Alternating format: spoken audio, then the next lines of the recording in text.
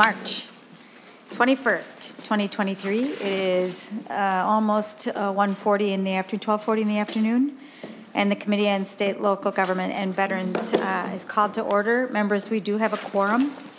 Uh, We have a full day and a full week as we head into the second deadline.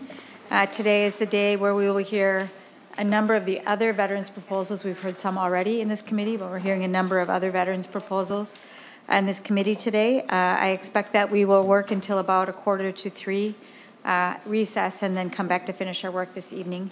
Um, And I appreciate everybody's uh, uh, really incredible work uh, as we work our way through uh, these important issues today. Um, So with that, I am going to ask Vice Chair Mitchell to assume the gavel, and I'm going to present a couple of bills with, with Department of Management and Budget.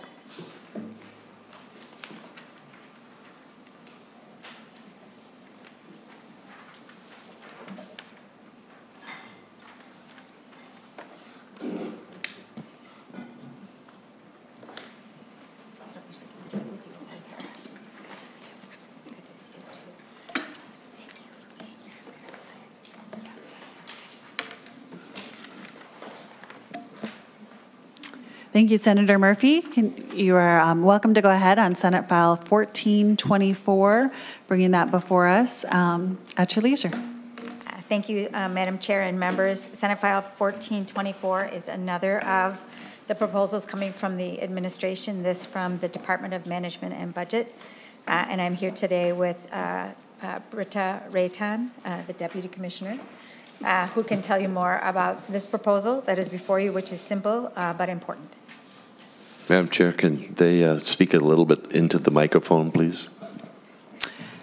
Thank you, Senator Anderson. I will lean into the microphone. go ahead. Thank you, um, Senator Mitchell. Uh, my name is Britta Reitan. I'm Deputy Commissioner at Minnesota Management and Budget, and this uh, bill is proposing to eliminate the reporting requirements, um, which requires every executive branch agency each October to report on all interagency agreements, um, both interagency and intra-agency transfers that have a cumulative value over $100,000. So this report has been uh, sent to the legislature every year um, since it was added as a requirement in 2017. Um, It's proven to be a rather onerous task on the fiscal staff within agencies to compile this report.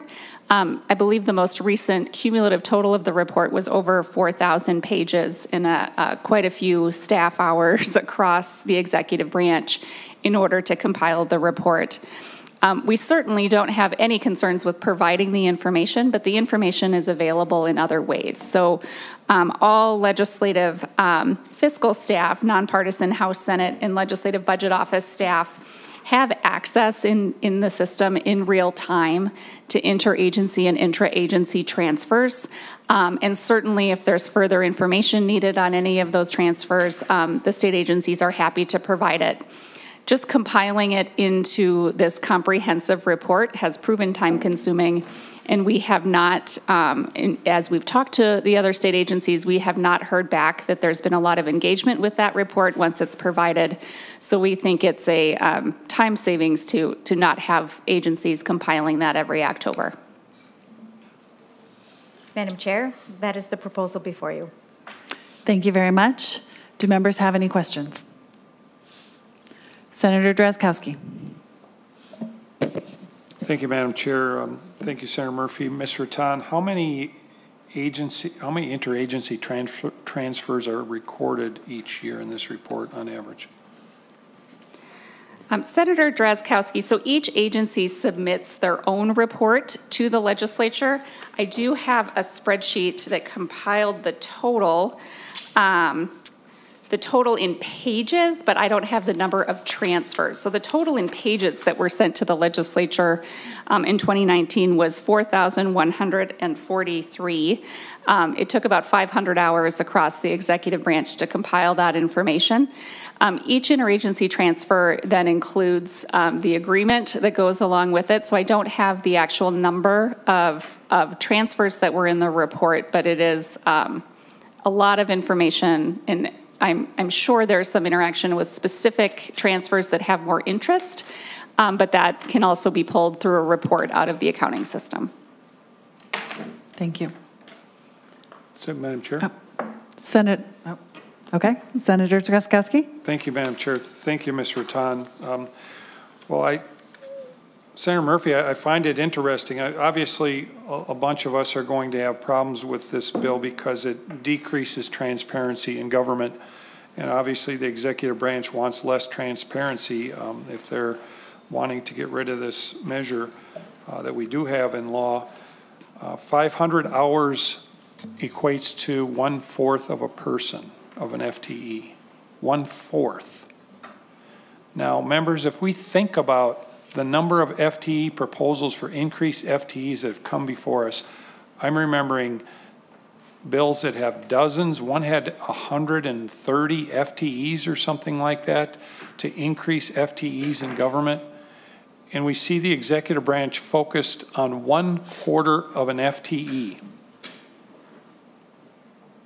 That suggests to me, members, the idea here or the motivation may not be from the executive branch, one of saving time or saving money, because obviously they're engaged in supporting bills that are bringing hundreds of FTEs forward in additional spending. Uh, instead, it's something else. And I'll offer, Madam Chair, um, I hope that something else isn't, and if we can defeat this measure going forward, uh, we can make sure it isn't uh, something around transparency that the, the people of Minnesota know and deserve. Uh, That's what this law provides, and uh, for that, uh, Madam Chair, members, I, I hope we can, um, I can, hope we can not do this. Thank you, Madam Chair. Senator Bahr?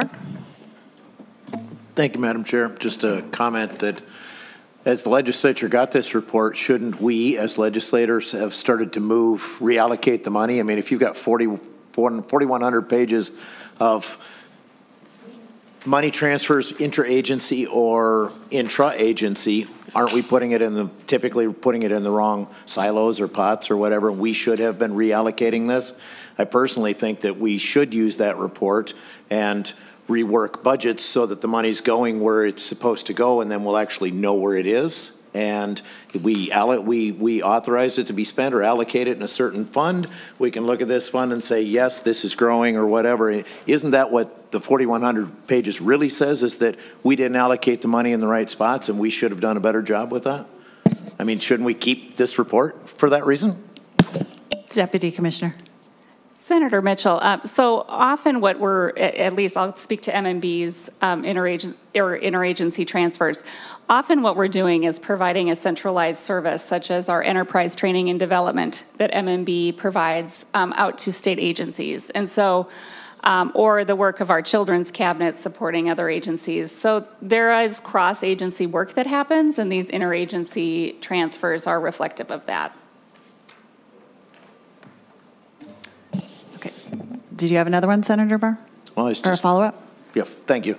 Um, Madam Chair and uh, Representative Murphy, I think that what she's really dealing with, we, we probably didn't ask for the right report in the first place when this was written. So I, I have, I won't be voting for it, but um, I get where there's a problem, and we should probably have this report actually dialed into what we want, not where we have um, like the Children's Cabinet, where you're providing the administrative part of that. That's not something that we really wanted to know, because when we authorize that, the legislation says MMB will provide administrative support. So while it shows up in the report, that's actually, the money's allocated correctly. And um, the, what we should be looking for is when you're actually transferring from one agency to another because we have excess funds as opposed to we authorized you to do this in the first place. That shouldn't have been in the report. So maybe we should take a look at that sometime after we hit deadline and see what we're really looking for and see if we can dial this up to, tune it up to what we actually want. Thank you. Thank you, Madam Chair and Senator Bahr. Thank you for that. I appreciate it, and we should. Okay, uh, Senator Anderson. Thank you, Madam Chair. Um, Senator Murphy, um, what's the, what's your overall intent of this bill? What's your purpose in bringing this bill forward? Uh, Senator Anderson, I think that uh, I have a couple of intentions with this proposal. I believe that uh, it is right for us to take a look at this question that has been brought forward from MMB to make sure that the work that they're doing is actually bringing value to Minnesotans. Um, And I think they're raising that question, and I think we should answer that. And Senator Bahr just offered, I think, uh, uh, his own perspective on that, which I really appreciate. Um, I think we're also making sure that we have proposals uh, in the committee that we can use to advance uh, omnibus bills. Well, Mr. Madam Chair, I would- I would like to have a roll call on this bill, please. Okay, Senator, this is being laid over for inclusion. This is, this is to be laid over for inclusion. Thank you. Are there any other questions? Senator Lang? I just, thank you, Madam Chair. I just got a quick one. Um, Is there any limit to $100,000 transactions that can take place interagency? Is there a limit to them, or can it be perpetual number of $100,000 transactions? Because it's, the, the bill is pretty short. Deputy Commissioner? So, Madam Chair, Senator, um, it's reporting on transfers that cumulatively are over 100,000 between agencies. Um, So the, it, it's within um, some program authorized by law that that transfer would be happening. Or if there's work happening across agencies. I, I'm remiss that I didn't mention earlier, a number of these transfers are also, for example, to Minnesota IT, MNIT, um, where they provide a central function for state agencies.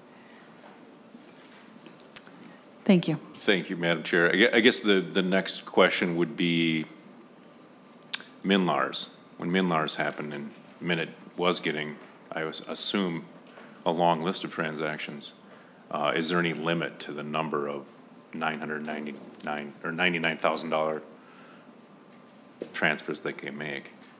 I guess that's the question. Deputy Commissioner? Senator, if there was a, for, if it was happening for the same purpose and they were underneath that dollar threshold, they would be combined together, is my understanding of, of the way it's written. Okay. Madam Chair, I gue- I guess, who de- who decides when it, when it says the purpose? uh, If one was, when MNLARS was, you know, having advertising issues, or when MNLARS was having, uh, you know, implementation issues when it came to the, are those two separate things, or are they the same thing, and who decides that? Deputy Commissioner? Uh, Senator, uh, I can't, I I was not involved in, in those Sure, transfers, so but I- my assumption example would be if, but- if they're for a system and they're between an agency to, an- from one agency to another for the same system, those would be added, additive. And MMB would make that decision, Madam Chair, sorry. Deputy Commissioner? Senator, no, each, each agency is doing their own reporting. This is not centrally compiled by MMB. It- The, the law is for each agency to provide their report to their uh, legislative committees.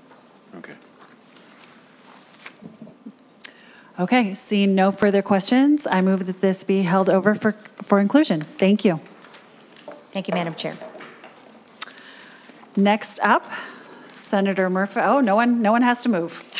Uh, So we have Senate File 1426. This would also be laid over for possible conclusion. Um, Senator Murphy, can you present your bill? Uh, Thank you very much, Madam Chair. Uh, Again, uh, an agency bill coming from Management and Budget. Deputy Commissioner Reitan is with me today to talk a little bit more about the proposal.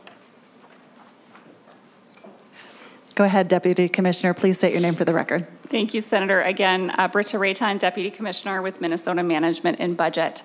Um, So this bill addresses the acceptable forms of collateral that can be used to secure state funds by banks, and it would modernize the list of collateral that the state can accept for um, deposits of our state funds. Um, So collateral is uh, protecting the state funds in those banks, and under current law, the state can only accept bonds as collateral from our banking partners. Um, However, under a separate law, local units of government have a wider menu of options available that, to them for accepting collateral. So the proposed language would extend the same menu of options. So essentially, this is aligning the state statute with the statute that exists for local units of government's collateral um, in law. Um, And there would still be uh, collateralization of the funds that are held in the bank, um, but there are options for collaterali- collateralizing that uh, funding that are less expensive and less onerous to administer for the banks. Um, Having more options available to the, our state's uh, banking partners will increase the number of banks that can compete for the state's business. Um, Just want to highlight that one of our current banking partners um, highlighted this as a benefit um, to the bank because there is less reconciliation that needs to happen on an ongoing basis if we're using other forms of collateral instead of simply bonds. Thank you for your testimony. Were there any questions, members? Seeing no Ma- questions? Madam Chair? Oh, yes. So. Senator? Madam Chair. Thank you, Madam Chair. Um, Mr. Tan, Mr. Tan, um, although I, I tend to agree from the perspective of making sure that we have uh, done it for a little while, and the collateralization was always an issue. Um, But it would seem to me that the executive council is what I have a problem with. So if there was a determined need, um, you know, in, in within an agency, to me, um, I'm worried that there is no limits and no bounds to what the executive council has done. And in this particular case, I, I, I agree with the intent of, of lowering the cost because it's very expensive. I, being on that size, and people don't understand not just the collateralize what it is, what's there, but many times a financial institution will have to collateralize at 110, 120, 130 percent of the uh, of the uh, deposits, which is very expensive, and especially nowadays. Isn't there a better place to, to have an informed decision of, our, we've got our board of investment, we've got a variety of other um, resources that manage our financial assets. And, and I would rather have um, somebody that's, that it's their sole purpose in life, in their industry, than the executive council making that decision. So I guess Senator Murphy and Ms. Rattan, if there's a better way to do that, that we can get I believe, more financially in, intelligent decisions from the perspective and remove political motive, um, I would rather, I'd be much more comfortable in being able to support the bill um, with some other, with some parameters that it's just not the executive uh, committee or council. So, thank you. Were there any questions or comments? Senator Bahr. Thank you, Madam Chair. Um, This might be a little redundant here, but you got a copy of the bill in front of you by chance? Thank you. Could you tell me what, would it be an example of line 1.18, 1.19? um, Issues of United States government agencies or instrumentalities as quoted by a recognized industry quotation service available to say, what, can you, somebody give me an example of what that would be? Thank you. Madam Chair and Senator Thank you. We are calling in backup. There you go. Or At least that's what I perceive.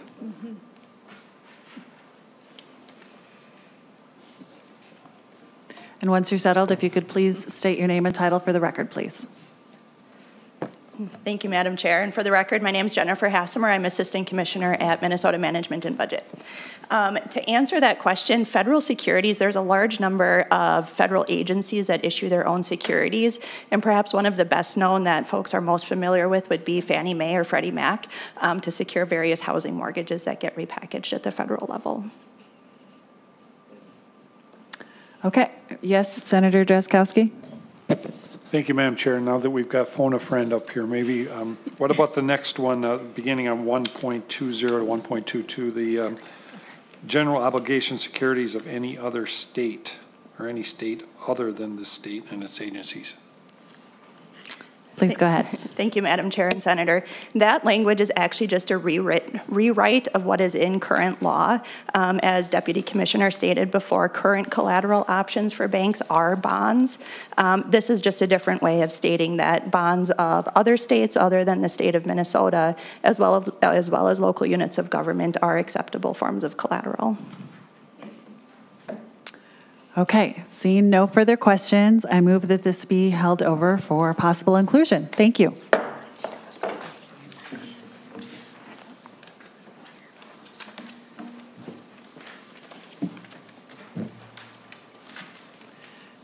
And Senator Gustafson will be coming up while I present.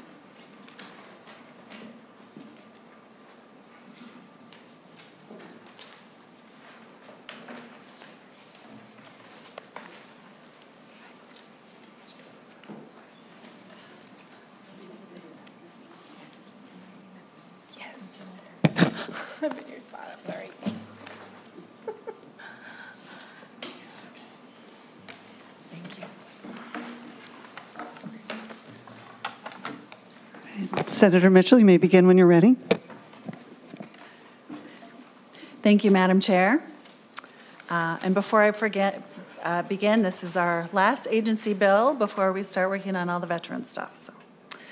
Um, So Madam Chair, this is Senate File uh, 2225.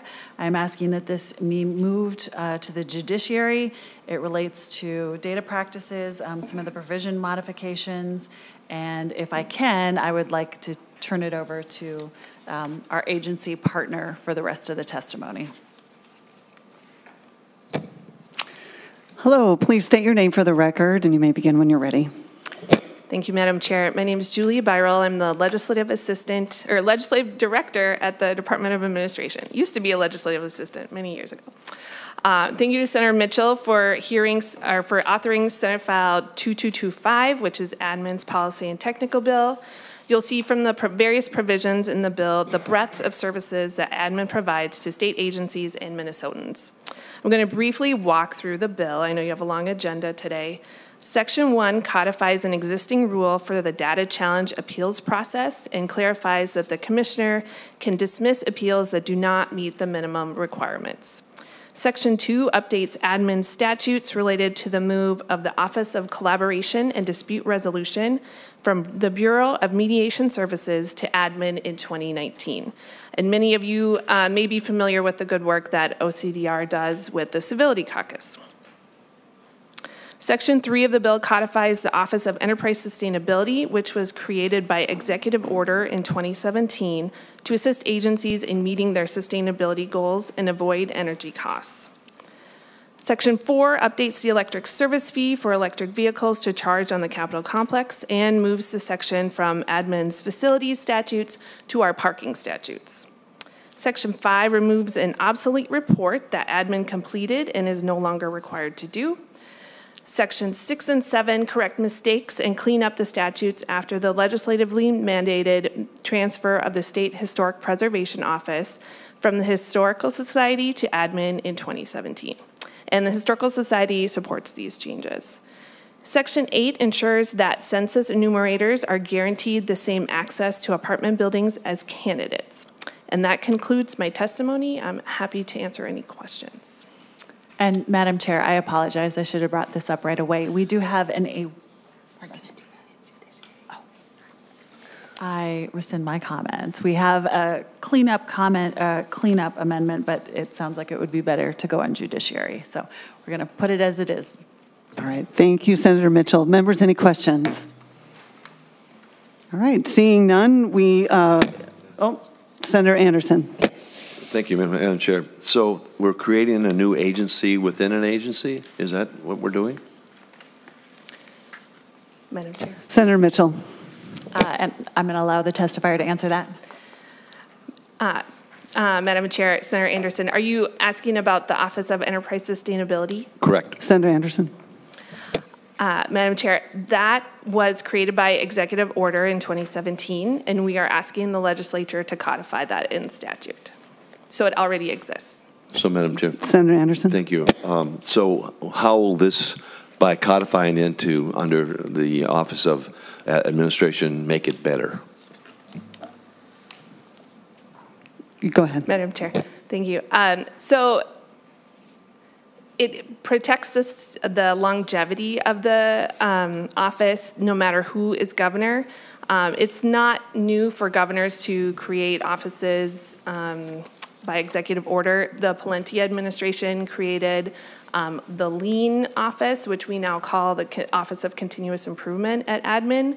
Um, And this is just another uh, office created by executive order um, because the governor can do that um, a little bit more quickly than perhaps uh, the legislature may. And then we are asking for the legislature to affirm that um, work and put that in statute. Madam Chair, Senator Anderson. uh, is there going to be a report on this uh, creation or this uh, codifying of this enterprise sustainable sustainability back to the legislature? Ms. Barrow. Will there be a report? Madam Chair, uh, the Office of Enterprise Sustainability publishes um, information every year on the um, the progress towards the goals, the sustainability goals that the, that state agencies make. And so they do report every year on their progress. But it's not necessarily, Madam Madam Chair, directed to the legislature, correct? Ms. Barrow? Thank you, Madam Chair. We publish it, we send it to the Legislative Resource Library. I would have to check and see if we send that to legislative committees. Be interesting to see that, thank you. Members, any other questions? All right, seeing none, Senator Maye Quade renews her motion to, uh, for 2225 be recommended to pass and re-refer to Committee on Judiciary and Public Affairs. All those in favor say aye. Aye. All those opposed say nay. All right, the bill passes. Thank you. Thank you, Madam Chair. Senator Mitchell, you are up again with Senate File 1509. You may begin when ready, and your testifiers can come to the table if they would like.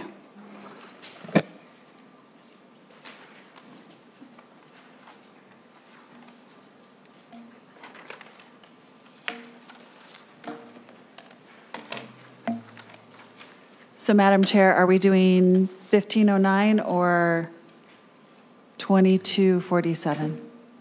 Senator Mitchell, I'm sorry, yes, you're right, 2247. Senate File 2247. You guys are next. Now you got a practice run. I And your believe we- testifiers uh, can come to the table if, if they're ready. Thank you. Okay. Madam Chair, I will begin in the meantime. So this is um, 2247, um, which is the budget establishment for the Department of Military Affairs and Veteran Affairs. Um, Just to quickly go over some of the many things that are in here. Um, We have the appropriation. We have subdivision one expands the definition of the term resident veteran for the veteran bonus program, um, which is something some of us are very familiar with. Subdivision two adds the inherent resolve campaign medals to medals for which people can receive that bonus. Um, Subdivision 11 allows for reapplication of the bonus if previously denied and you now meet some of those criteria. Uh, Sections 456 amend the GI Bill program, and 4 specifically increases the amount of the post-secondary educational assistance from 3,000 to 6,000 a year, lifetime cap up to 15,000. Um, 5 and 6 make conforming changes. Uh, Seven and eight, um, change the Veterans Homelessness Initiative um, and make the section immediately effective, uh, rolling over some old funds into the new biennium. Um, So those are the major changes. And with me today, I have um, Ben Johnson, if, uh, with the Legislative Director with the Minnesota Dep- Department of Veterans Affairs, if he could also please testify. Thank you. Mr. Johnson, state your name for the record and begin when you're ready. Madam Chair, members, if I may, um, the first section within this bill is actually for the Department of Military Affairs, so I- I would, I'm sorry. I'd be happy to defer to Don Kerr if you would like to go first. Sorry, Don, I'll put you on the spot. Sorry, my apologies. Oh, that's okay. Thank you so much. Welcome to the committee. Please state your name for the record. Begin when you're ready. Thank you, Madam Chair and members. My name is Don Kerr. I'm the Executive Director of the Minnesota Department of Military Affairs. And uh, the Adjutant General and I actually did present all of the items that are included in the bill here a couple of weeks ago, though I'd be happy to answer any questions that members may have. All of these programs are really important for the sustainment of readiness in the Minnesota National Guard, and we hope you can support us. Thank you so much. Mr. Johnson, are you ready? I am Chair, members, Ben Johnson, Legislative Director for the Minnesota Department of Veterans Affairs. I knew I could count on Don to be succinct and to the point. Um, I will echo, I was here before the committee a couple of weeks ago and went through all the items. Nothing has changed in the interim. Uh, Thank you for the opportunity to speak on this really important investment in, in veterans in, throughout the state of Minnesota. Uh, The Commissioner would like me to identify uh, a really important concept here. Um, I, I will admit that a, uh, an increase of this amount, a total change of $95 million over the, uh, for change items over the 24-25 biennium is significant. Um, But I want to highlight that there are essentially three buckets worth of uh, increases here. Um, Importantly, $34 million is one-time funding over the biennium. So this is not ongoing, uh, uh, ongoing investment. This is one-time funding over the two-year biennium. Uh, That would go to the post-9/11 service bonus increase to make sure that all service members from the past 20 years are recognized. Uh, But it also goes to uh, this, the goal of ending veterans homelessness in the state of Minnesota. So in this one-time funding bucket, um, there is a significant component that will not, not be carried in the base or the tails going forward. Um, We have a significant increase in uh, need that we have not been able to address in our current operational budgets. Um, So there are increases here for the Veterans Healthcare Division as well as the Veterans Programs and Services. Um, And that money is ongoing, but it's an investment that we have been delaying in a lot of respects. And as the state has um, asked us to serve more veterans in more ways, um, we have added capacity, but we have not added the- the associated funding. Um, The third bucket of money, as, as we have outlined it basically, uh, is, is new opportunities to serve. So areas where, in talking with legislators, their constituents, talking with, with veterans throughout the state, we have identified new opportunities to really hone in our, um, our efforts to end veteran suicide in the state of Minnesota, uh, areas where we can focus additional resources in ending veterans homelessness, getting up, upstream and uh, preventing veterans homelessness. So uh, I will admit that we are, um, I hate to say it, growing government here, but it is targeted in some very specific areas to help veterans and their families throughout the state of Minnesota. Um, I would be happy to stand for any additional questions. Thank you for the time. Thank you, Mr. Johnson. Uh, Members' questions. Senator Drazkowski. Thank you, Madam Chair. Thank you for the bill, Senator Mitchell. Mr. Thanks, Mr. Kerr, Mr. Johnson. Can you tell me uh, for each of your respective sections of the bill, is this the government, governor's uh, proposal? Is this the governor's language and appropriation language in the bill? Mr. Johnson. Uh, Chair, Senator Drazkowski, yes, this is. This is, all, all of the sections were developed in uh, concert with the governor's office, sir. Okay, so this is his proposal. Senator Drazkowski. Thank you. Thank you, Madam Chair. Senator Lang. Thank you, Madam Chair. I, I guess I'm going to uh, expound on that question a little bit. Uh, this is the governor's proposal. There's a bunch of bills in here that I'm familiar with, but we haven't heard this year. Uh, we're 11 weeks into the schedule, and this is the last week before final deadline. Um, is this the intent to be the Veterans Omnibus Bill, Senator? Senator Mitchell. Um, Senator Lang. Uh, the reason that we're hearing it at this point, and I've said this before, there have been other veterans bills moving at different points. Um, we're doing a Veterans Day today, and of course, coordinating it with the hearing that we're having tonight. So that was the goal of this committee is to kind of have a, a veterans focus today. Um, so this does overlap some of the some of the bills that we have, but there will be other things. It is my impression that will be included in the omnibus.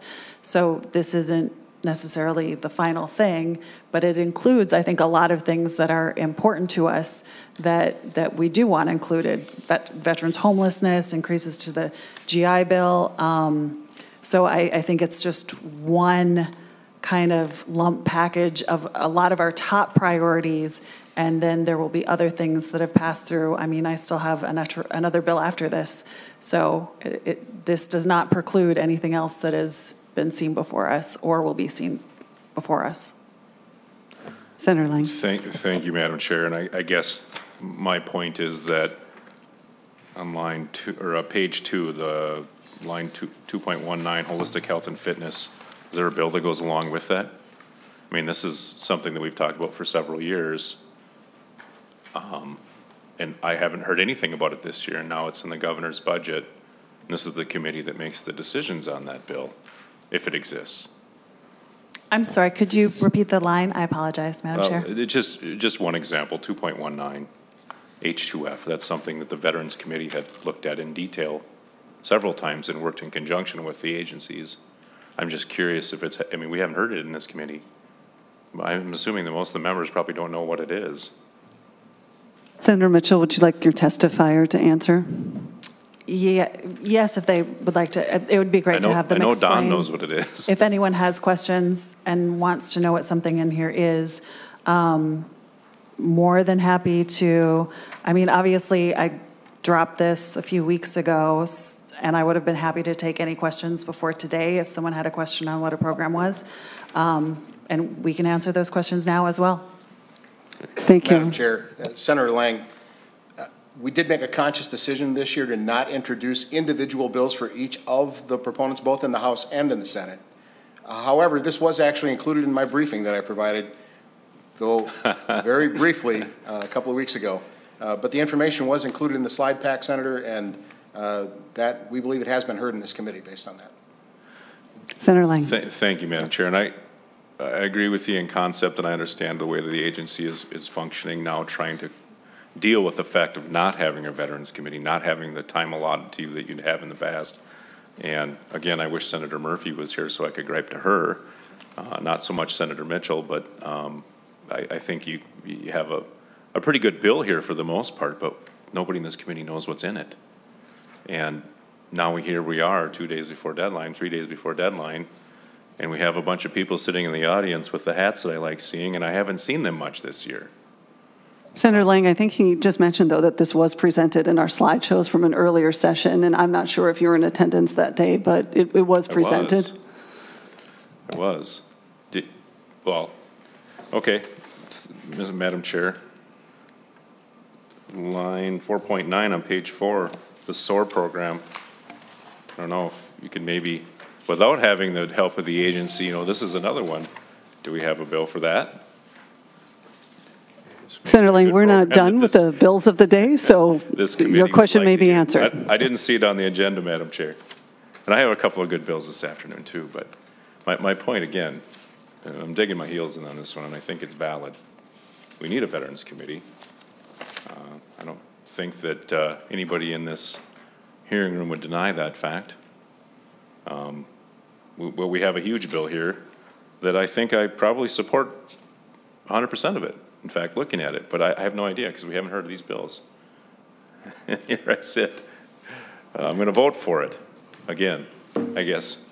But uh, I'm looking forward to the omnibus bill. Uh, I'm looking forward to that. So with that, I've- I'll keep my comments to myself. Well, Senator Lang, we always like to hear your comments, and we are looking forward to hearing your bills, so we will move forward unless there are any other questions. All right, seeing, uh, oh, sorry, Senator Anderson. I'm going to have to get up really high. Regarding what Senator Lang just mentioned about the homeless veterans and the SOAR program, what is the criteria in, in setting up this? It says Commissioner may use the money for personnel, for training, for research, for marketing. Uh, What percentage of that money is going to be used for administration? Senator Mitchell. Or testifier.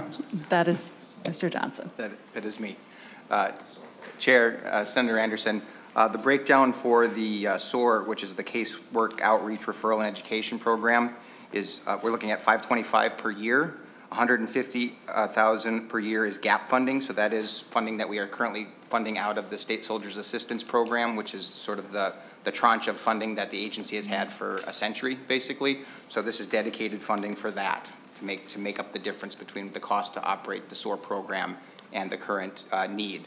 Uh, 85,000 per year is MDVA staff funding, so that is, that is managing contracts, that is interacting with our partners and stakeholders in the homeless veterans community. Um, And I'll note that 85,000 per year is less than one FTE. Uh, So it is, it it is funding some, some of that staff work that you're asking about, but it is not hiring a new person to do that job. It is to fund the position that we are currently funding and having to tap into other resources. And then about 290,000 per year is to fund increased demand. So this is, again, preventing the need to utilize that gap funding in the State Soldiers Assistance Program and have, have dedicated funding for the Service Corps Program. So, Madam Chair, Senator Anderson. uh, Mr. Johnson, um, regarding that, do you know what the percentage is of a- admin costs for the overall program that's being provided here?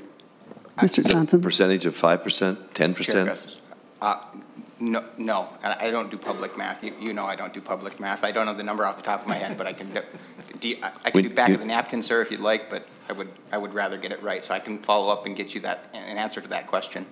Senator Anderson, would you be okay if he answered your question offline? Well, it's after the fact, but If he, but if he doesn't have the math available in front of him now, would you be okay if he answered your question later? I guess we have no choice, huh? Unless you got a better choice. I'm not going to be doing public math today either, but. You're not going to do public math No, today? I, Okay, okay. not, but thank you for offering, I appreciate right. that. Yep. Senator Mitt, oh, any other questions? Senator Drazkowski. Thank you, Madam Chair. I just, just kind of on the same thread, um, Senator Mitchell, are we going to see more details of these programs, kind of fleshing out the details of them? or Are we simply going to turn these dollars over to the executive branch and, and assume they'll do good things like everybody uh, understands? Or are we actually going to put it in law in terms of how these programs are supposed to work? Senator Mitchell. Um, Senator Drazkowski, so some of these actually will compile some of what we're hearing today. Um, The things that are in here that are not are the specific numbers that the organizations have. So again, um, I, I would have loved if during the presentation, we had, if people would have asked some of these questions, or, or before when I dropped the bill, that people would have asked some of these questions. Um, But the agencies can provide the specifics, as Mr. Johnson just did, when there was a specific about the program. So if they need to get you um, those slides again, or sheets on the programs, we can absolutely do that. Well, Madam Chair? Senator Drazkowski. Thank you, Madam Chair. Senator Mitchell, I'm- I'm not suggesting we hear from the executive branch about what they aim to do with it. We're talking about what we're going to put in law here. Are we going to have the details of how this is to be spent as we direct the executive branch on how to spend the people's money? Are we going to do that here, or are we just going to turn the money over to them and say, executive branch, go do good things, because we trust you? Because that's what I'm reading here right now. Senator Mitchell. Uh, Madam Chair, I would, I would reiterate that we had a presentation on this, but um, Mr. Johnson, do you have more details than what I've already explained? Uh, Thank you. Uh, Mr. Johnson. Chair Gustafson and uh, Senator Drazkowski, most of these programs already exist. They, they either exist in session law and are defined in session law on, on how they are funded and what the appropriations are, or they exist in statute. And so they've already been de- defined by the legislature, sir. And uh, we, we would be happy to continue to brief on any specific questions, but these are programs that have been successful in helping veterans and their families get the assistance that they need. We're not creating out of whole cloth much of anything in this bill. There is new funding, there's identifying established funding, uh, but these all fall within uh, statutory authority or within prior session law or hopefully within this session's law, sir. Best, best uh, answer I've had all day, Madam Chair. Thank you, Mr. Johnson. Madam Chair? Senator Anderson. Thank you, Madam Chair. Um, On page six, it talks about the uh, veterans' health care, and I, I think we're going to be talking about veterans' homes maybe this e- evening or this afternoon. Uh, It also mentions here that uh, a veteran community health navigator in community-based hospitals. Um, Mr. Johnson, can you give us a little bit more detail uh, regarding that, uh, 6.28, 6.29? When you're ready, Mr. Johnson.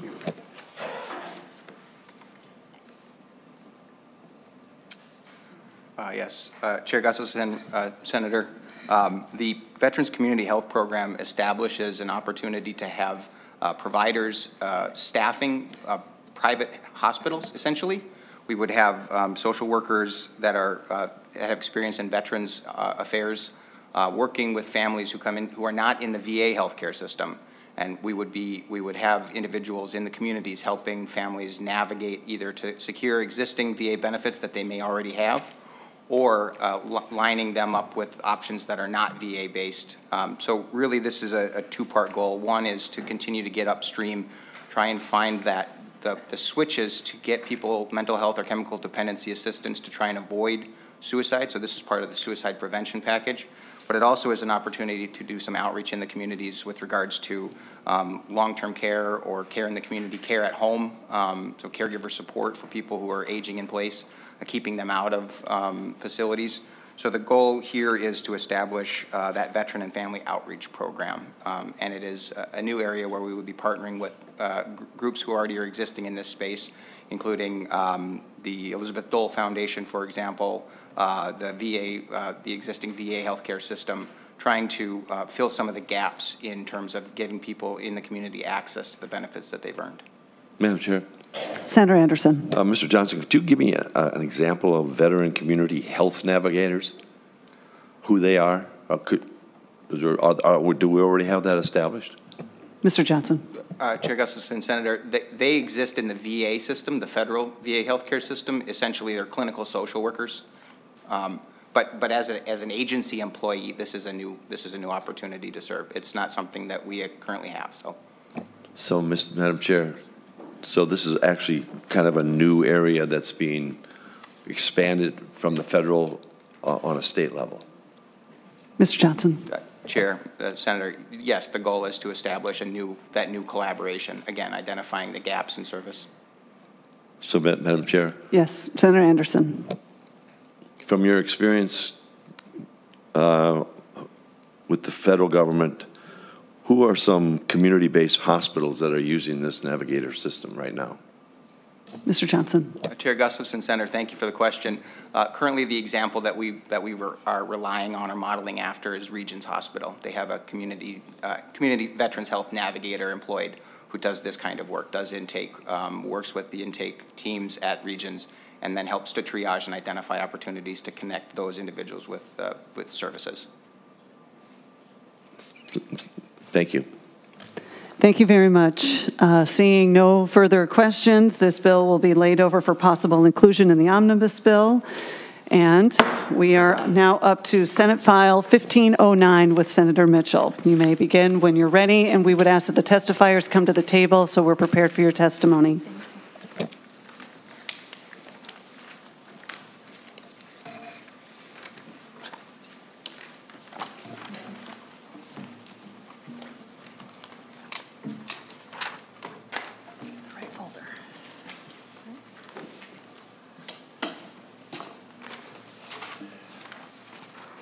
Senator Mitchell, just begin whenever you're ready. Thank you, Madam Chair. Um, So I'm here to- today to present Senate File 1509 and um, ask for it to be possibly included or laid over for possible inclusion. Um, This is relate- related to the Veterans Resilience Project. It's a statewide nonprofit um, that offers evidence-based therapy to Minnesota veterans and service members struggling with trauma, sexual trauma, PTSD. Um, and basically, we want to be able to, with some of those issues, um, not only continue the funding for the program that's been very successful, but also because there is a framework for getting people to these programs and helping them meet them up with providers to be able to um, use some of that framework for spouses as well, because sometimes if there's PTSD in the household, that might be something the spouse um, also would need to deal with. Um, So with more on that, I would like to please go to my testifiers. Thank you. Oh, Welcome to the committee. Uh, Please state your name for the record and begin when you're ready. Thank you, Madam Chair. My name is Eric Wickheiser, and I am uh, with Veteran Resilience Project. I'm actually the board chair, and I'm a Vietnam era veteran, submarines, nuclear submarines. Very proud of that. Uh, What I want to just spend just a minute here talking about our board, because uh, the board is the actual guiding force of our uh, organization and uh, they, we're the ones that drive the bus. And we have on the board EMDR therapists. We have a number of veterans, uh, such as myself, experienced insurance experts, managers, and experienced in business and government. And we're very dedicated, we're passionate, very, very active. And I'm mentioning this because I think we're a unique organization to a lot of other nonprofits. With your generous funding, we have a very competent staff and, and operational systems in place to ensure that our mission is carried out and that all funds are accounted for and are for wisely spent. Very important for me and for us veterans. My pleasure today is to introduce Major John Phillips, our therapy director. Uh, Major Phillips, when you're ready, state your name for the record and begin. Good afternoon, Madam Chair. Um, My name is Jonna Phillips. I'm the Therapy Director for Veterans Resilience Project. Um, I am a licensed E EMDR therapist, uh, spouse of a veteran, and have served 23 years in the Air National Guard, uh, 12 years as an enlisted member, and then went to the dark side and became an officer. Um, I currently serve as the Director of Equal Opportunity at the 148th in Duluth as a traditional um, Air National Guard member, and I also work on the Sexual Harassment Task Force for the Minnesota Air National Guard. So by the combining those positions, I'm really passionate about being here today and speaking to all of you. Um, as that as has already been stated, we are a nonprofit. Um, and we work tirelessly to, um, to reduce barriers to care to veterans. Um, we specifically treat post-traumatic stress disorder, trauma, including military sexual trauma, amongst Minnesota veterans and service members. We do this by providing awareness of EMDR therapy, which stands for eye movement desensitization and reprocessing. Uh, we have provided a handout with an extensive list of research that um, has been done on EMDR therapy specifically to veterans. Um, however, there's also a comprehensive list of research for EMDR therapy in general and its effectiveness. However, that was 77 pages long. Um, so I did not print that out for you today. Um, VRP is currently working with two possibilities for additional research um, to include the veteran spouses. We are working with the University of Minnesota Family Social Science Department, as well as the EMDR Research Foundation, and reaching out to the National Institute of Health. Uh, with the funding, we have been able to increase the number of therapists in our network in the past year from 20 to 40. Um, so we have 40 EMDR therapists statewide. Uh, our goal is to continue to increase that number. We do provide an, an advanced EMDR therapy training specifically for these traumatologists. Um, we are hosting our next one in Duluth in May. Um, to continue to expand our efforts to the northern part of the state. Uh, EMDR therapy, it's important to note, not only treats PTSD and complex PTSD and military sexual trauma, it can also prevent symptoms, including suicide, suicidal ideation, if traumas are treated earlier enough.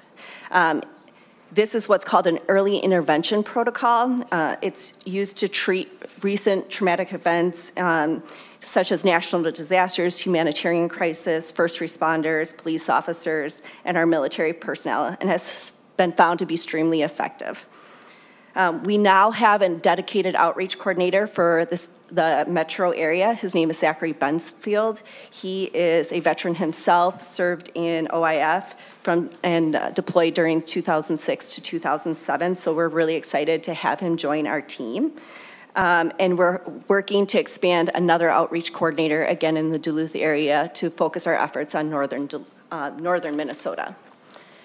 Um, we are here today to ask you to continue to support us and to allow us to expand our services to spouses. Through the events that we attended this last year in 2022, spouses continued to come up to us and identify their own invisible wounds.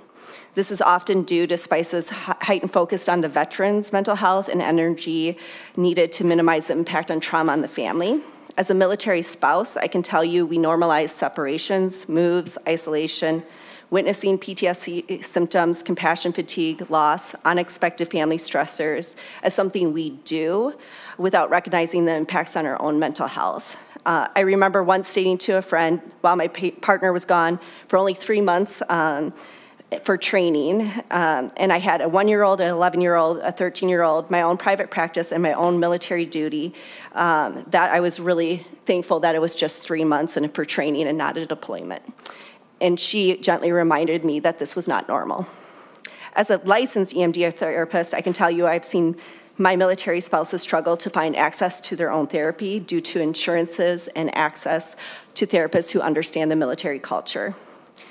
Uh, I have worked with military spouses that have lost their spouse to death by suicide, um, I have worked with a spouse that um, partner was deployed and their infant was in the ICU, spouse who was attacked while sleeping due to military spouses' nightmares and flashbacks, spouses who took care of a child with severe disability during deployment and isolated in a rural area with minimal resources, and spouses who experienced trauma due to untreated PTSD leading to substance abuse and emotional abuse. The addition of the spouse would utilize funding that's already in place for VRP, um, and um, this would continue our funding through the next biennium. I just want to end today by sharing a few statements of veterans who have recently reached out requesting EMDR therapy. One stated, I feel that I'm struggling with some trauma. I have difficulty with sleep, both falling and staying asleep, ir irritability, anger, and I'm easily startled. The next stated, I struggle with depression, anxiety, nightmares, probably moral injury, suicidal ideation at times. The next stated, I can't seem to manage my life. I have frequent panic attacks and anxiety attacks. I feel hopeless. The next stated, I am reaching out for my partner who's experiencing some PTSD, grief after two deployments, and losing a close friend to suicide. Please do not hesitate to let us know if you have any questions today, and we look forward to your support of Senate File 1509. We do have two testimonies of veterans who received EMDR therapy. Thank you so much. Um, Our first uh, testifier, Jacob Thomas, Uh, if you could state your name for the record and begin when you're ready. Yes, thank you, Madam Chair. Uh, Jacob Thomas. I live just across the river over in Minneapolis and downtown. Uh, I served in the United States Air Force from 2008 to 2016. Uh, and I'm also the communications director for a group called Common Defense. We're the, nation, the nation's largest grassroots organization of veterans uh, building community power to enact progressive policy across the country. Uh, and I come today also in support of SF 1509. And I want to take a brief moment uh, to reflect on the fact that yesterday was the 20th anniversary of the US led invasion uh, in Iraq. Uh, 20 years of war has defined a generation of service members and our nation. The disastrous policy decisions that led us into war two decades ago have created countless veterans, civilians, and military family members who now live with the traumas of war. And this is all without including the stain of military sexual trauma uh, that has plagued our military branches for years. According to research done by the White House since 2010, more than 71,000 veterans have died by suicide, which is more than the total number of deaths from combat during Vietnam and operations in Iraq and Afghanistan combined. An important aspect to these statistics is that post 9 11 veterans like myself, those who served during uh, the terrorist attack in 2001 and then in wars in Iraq and Afghanistan, as well as what has become known as the global war on terror, are being di- diagnosed with PTSD at a much higher rate than their previous era veterans. Uh, brief numbers here on that. Uh, according to the Department of Veteran Affairs, approximately 7% of all veterans will experience PTSD at, at some point in their lives. Uh, however, for post 9 11 veterans, that number is a staggering 29%, according as a subset uh, with regard to their service era. Incidents of PTSD are also higher among women veterans. 13% of women veterans experience PTSD, uh, as opposed to approximately 6% of male veterans overall. And we also know that the secondary traumatic stress, uh, or what is known as secondary PTSD, can affect military spouses, caregivers, and family members, yet typically goes unaddressed and underserved. One of my roles while on active duty and later in the reserves was as a sexual assault victims advocate working with service members and their families to deal with military sexual trauma, both in navigating potential civilian court cases or courts martials, uh, and with navigating medical and therapeutic case management. I first learned about EMDR way back when, uh, while I was working on a case uh, in 2013. Throughout the years and cases I worked, I saw firsthand how valuable therapies like EMDR can be to help people, service members, veterans, and their family members deal with PTSD and the stress that comes along with that. Uh, and as a veteran living with PTSD myself and a survivor of military sexual trauma, I would urge this committee to vote in favor of SF 1509 to help our service members and their families heal. The families of our service members play a crucial role in serving and sacrificing for this nation, just as their partners do. Thank you very much. Thank you. Appreciate your testimony. Our final testifier is Tom McKenna, who is joining us virtually. If you could state your name for the record and begin when you're ready. Thank you. I'm, I'm Tom McKenna, and I'm glad to be here today to uh, tell a little story about m- me and, and VRP, and um, it was a, um, I was actually going through a therapy at the VA that um, required me to delve deeply into um, my trauma and the traumatic events that that spurred um, the the PTSD diagnosis. And it was so um, destructive that I was suicidal, and I just decided um, I'm going to make one more phone call, and that was to VRP because I had heard about this EMDR from a friend, and um, they picked up the phone, and within a week I was with an EMDR therapist, and the ne- over the next 15 weeks, um, we worked through. Um, we worked through those issues that, that had me in that, in that terrible state. And it was just unbelievable um, to um, experience a therapy that um, didn't require me to go back into my trauma as much as it did to look at it from an objective point of view and really um, uh, it saved my life and um, I can't thank VRP enough for that. I'm here today um, because of, of VRP and my wife would say the same. Um, we, um, my wife and I, we subsequently went on to start a nonprofit of our own, which now serves thousands of veterans. And um, we would never would have been here without uh, VRP and uh, EMDR therapy.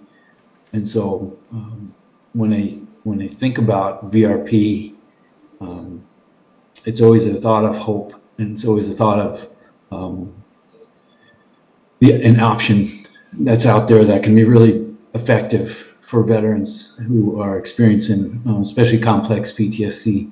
And so um, I uh, just wanted to be here today on their behalf to say um, thank you to them and to say thank you to the legislature for supporting them, and hopefully that support continues. And um, I just uh, I owe my life. I mean that in a literal sense. So um, thank you. Thank you, Mr. McKenna. Uh, Members, any questions? Mr. Senator Anderson. Thank you, Madam Chair. Uh, I see we have, um, the- I guess the funding has been laid le- level or remained the same, but by adding the, it says here, more than a third of the war veteran spouses meet the criteria for secondary traumatic stress. Um, How many veteran spouses are we talking about with, when it says one-third? More than one-third? uh, And then what is the criteria for meeting that uh, level of need for this program? Senator Mitchell. Oh, Major. Go ahead. Thank you, Madam Chair um, and Senator Anderson. Um, The one-third, that's from the research, um, so that's a national research study that was cited there.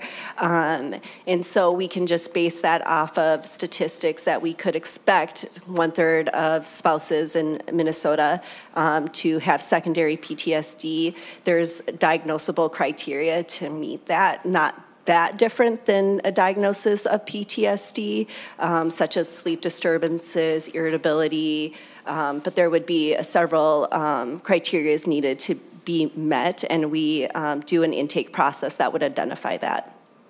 And, and there's also um, traumatic, um, there's a, a diagnosis for trauma as well. So that could be, again, the single incidence uh, trauma. So, um, you know, the reference to the spouse who was attacked in the night um, by her um, partner who had PTSD um, with his flashbacks, um, that would be like a single incident trauma, which is also diagnosable. Senator Anderson. Thank you. Um, So how many sessions does an individual, whether it's a male or female, need to, uh, to, or is it, there is no answer to that? Well, the research really shows that within 12 sessions, you can see significant decrease in the symptoms. Um, what we are finding is what um, uh, Mr. McKenna was referencing with complex PTSD that often can be longer. Um, and I've seen that with um, military members or veterans who have been deployed and in combat and have seen um, quite a bit. And so they might require um, a bit longer um, with the complex PTSD diagnosis. Madam Chair, Senator Anderson. it says here that you have trained 40 EMDR therapists in Minnesota. How many are still with you? 40. Um, and that continues to grow with our training in May. Um, so these EMDR therapists are already EMDR therapists. I just want to make sure that's um, understood. And then we provide an advanced training on how to work with military members. And that's a, a prerequ- prerequisite about uh, as, as far as being a part of our network. Um, so that is an additional um, training required for them to be a referral resource. Madam Chair? Senator It Anderson. says that this uh, Veterans Resilience Project will grant funds uh, to, I'm guessing, the therapists that are going to be doing the work. What are the size of the, the grants? Um, So the, I'm not sure what that's referencing. Um, We provide, we reimburse the therapist directly for the therapy sessions. Um, so um, the therapy, the therapy is uh, rate is $125 an hour, which is comparable um, to um, what you would see as far as an outpatient. Um, if I took a self-pay client as a therapist, um, it's competitive, and so we really pride ourselves uh, at being an organization that supports not only the veterans but the therapists taking care of veterans as well. Some of the insurances, such as TRICARE, is very complex for medical professionals to join their network or to take. Um, and a lot of our therapists are actually a part of Optum, which is the re- referral resource um, of the VA. Madam Chair. Senator Anderson. Thank you, Madam Chair. Um, So uh, Optum, I've seen that name before. Uh, What I'm wondering is this 400,000 that we're ha- having uh, provided to Veterans Resilience, what percent uh, of that money is going to be used for administrative costs? Uh, Phillips. Yes, Madam Chair and Senator Anderson. Um, So our funding, as far as administration, is 15%. 43% of our funding goes to these trainings that we provide the therapists, as well as program costs. And then 42.5% goes directly to reimburse the therapists for the E EMDR therapy. That's taking care of the veterans. So, Madam Chair. Senator Anderson. These um, uh, locations uh, for these 40 therapists, are they in the Twin Cities? Are they statewide, or where are they located? Madam Chair and Senator Anderson, great question. They are located throughout the state of Minnesota, and um, right now, I would say, um, I'm looking at the map, uh, and we, I can get that map to you as well. Um, But we do have, for example, six located in Duluth. um, And then we also have several that are located in north, um, north central um, Minnesota, and they are part of the tribal communities as well. Um, so we do have therapists in the rural communities, and then 20 of our therapists provide telehealth option as well, um, allowing access to uh, rural communities as well. But that is our focus as we continue to grow and expand, is to continue to not only outreach to veterans and service members, but therapists um, in these rural communities. Madam Chair. Senator Anderson. Then we have to go to Re- Senator Maye Quade. Rather than, um, do these people have to be re- referred to your therapy, or can they go directly to you? Major Phillips. Madam Chair and Senator Anderson, they can come directly to us. Um, I would say the majority um, of our referrals right now are from events that we have gone to. Um, we went to about 20 different events this past year um, targeting veterans and service members. Um, and then a lot are referred or find us through our website. And then some are referred from the VA. Um, but as mentioned earlier, too, we actually just had a meeting with regions and their community um, health coordinator. Um, and so we're, we receive referrals from different areas. And Madam Chair, last question. Okay, thank you, Senator Anderson. Do you have a report of the results that you've, uh, I didn't see anything in here to show results of your work in the last years that you've been doing this. Yeah, uh, Madam Chair and Senator Anderson, we do have a pilot program that we conducted in 2014. And from that, and that's again on our website and included in our le- legislative report that we provided. Um, it, it's not here today, but we have emailed that out previously. Uh, where 100% of veterans um, and service members that received E EMDR therapy saw a reduction in their symptoms, and 87% completed the treatment, which is also a significant statistic um, due to a high dropout rate for veterans. Thank you. Senator Maye Quade. Well, thank you, Madam Chair, and Senator Mitchell, I want to thank you for bringing this bill, and Jacob, and um, was it Major Phillips? You can call me John. Thank you for, for bringing this. Um, I am not a veteran, but EMDR definitely saved my life. And I graduated from high school in 2004, and so I'm of the generation that spent an entire generation at war.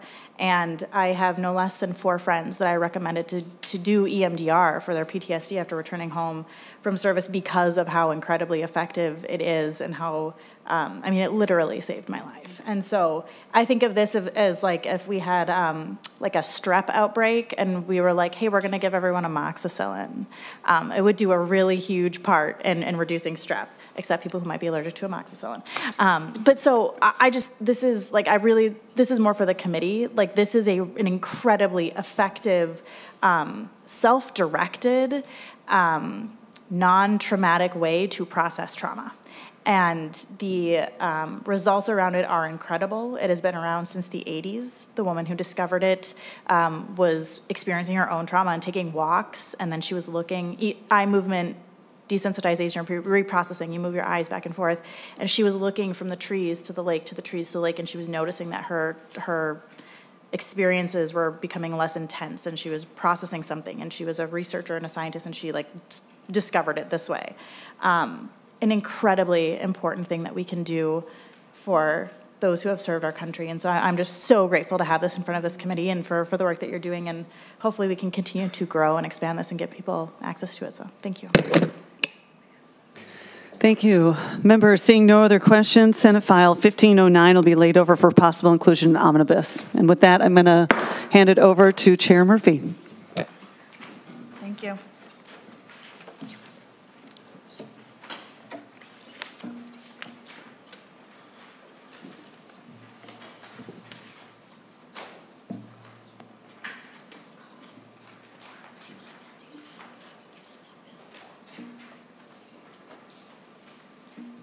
Senator Howe, we're going to invite Senator Housley up, and then you, if you don't mind. Forgive me, please.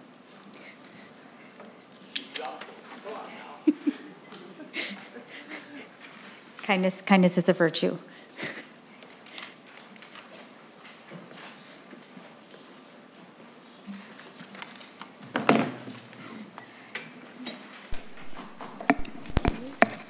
Members, we will take up Senate File 2420. Welcome to the committee, Senator Housley. Please introduce yourself for the record and proceed. Thank you so much, Madam Chair. Uh, Madam Chair and committee members, thank you for the opportunity to bring Senate File 2420, a funding request on behalf of the Forest Lake Area Veterans Memorial Committee. Uh, military veterans of Forest Lake have patriotically served our country, and some have even given their life. They deserve to be honored with the Veterans Memorial in the Lakeside Memorial Park located downtown Forest Lake. We are requesting matching funds of 225,000 for a $450,000 project. It's a one-time appropriation. Uh, and with me, I have testifiers uh, for, for the Forest Lake Veterans Memorial Committee, Ron Miller, Army Colonel retired, and Mark Finneman, Army Sergeant. Thank you. Thank you, Senator Housley. Welcome to the committee. Um, Please introduce yourself for the record and testify. Yes, I'm Ron Miller. I'm a uh, retired colonel. I was in the uh, active duty seven years and then the Minnesota Army National Guard Aviation for uh, 18 years. Sorry, uh, Senator Lang uh, stepped out, but the, uh, and then in the Army Reserves for the total of 30 years. And I'm the chairman of the Forest Lake Veterans Memorial Committee. We started, it's a community group organized in uh, 2008, and under the prodding of a World War II veteran, uh, Al Ewert. Uh, He's uh, since uh, deceased a few years ago.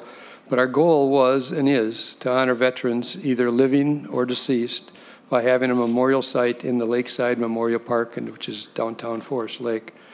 Uh, We reinstalled a uh, a bronze plaque, which was done in the 1970s, and it lists uh, 24 names of people that, veterans who had uh, served their country and, and and died uh, in service. Um, The Chamber of Commerce uh, did that one, and then things were quiet for a long time. And so Al prodded us to, to go ahead and, and we need to honor some more, um, more people since then and, and all. So we, uh, we got together and we ended up, um, uh, we put that, this on a rock, uh, that plaque, installed it in the park. Uh, and then uh, we, we ended up um, having a team in uh, about 2008, 2009, we started selling um, pavers uh, like this. Uh, This is the smaller one, four inches by eight inches, and it has the the veteran's name on the top, and then, you know, what, whether they're Army, Navy, or, or whatever, and uh, their rank and et cetera, and then at the bottom, the years of their service. And so this is a smaller size. We sold those for $150 and a larger size, which is 8 inches by 16 inches for uh, $300 each. And so that netted, um, uh, well, after 337 we have in the, in the ground right now next to a sidewalk uh, downtown uh, park, uh, Madam Chair. And uh, so that netted some money plus uh, other donations, so we do have $63,000 uh, so far. Uh, And we are going to continue this every, every twice a year. Anyone who submitted a, um, uh, for one of these, they, the money goes to the city of Forest Lake, a, a pot for us. So it's not me as a chairman or whatever touching the money. It goes to that pot at the city, and you can look on the city uh, website about the Veterans Memorial. Um, and then twice a year, I get the, the new um, orders, and I talk to the, the person, and, and whether it's uh, uh, someone who's alive or deceased, I uh, end up talking to the family members then, and we go ahead and uh, decide what should be, you know, appropriate for them on this, on this paver. And we install those on Memorial Day, and then we also install the other uh, half on uh, Veterans Day. So we're up to 337 uh, at this point.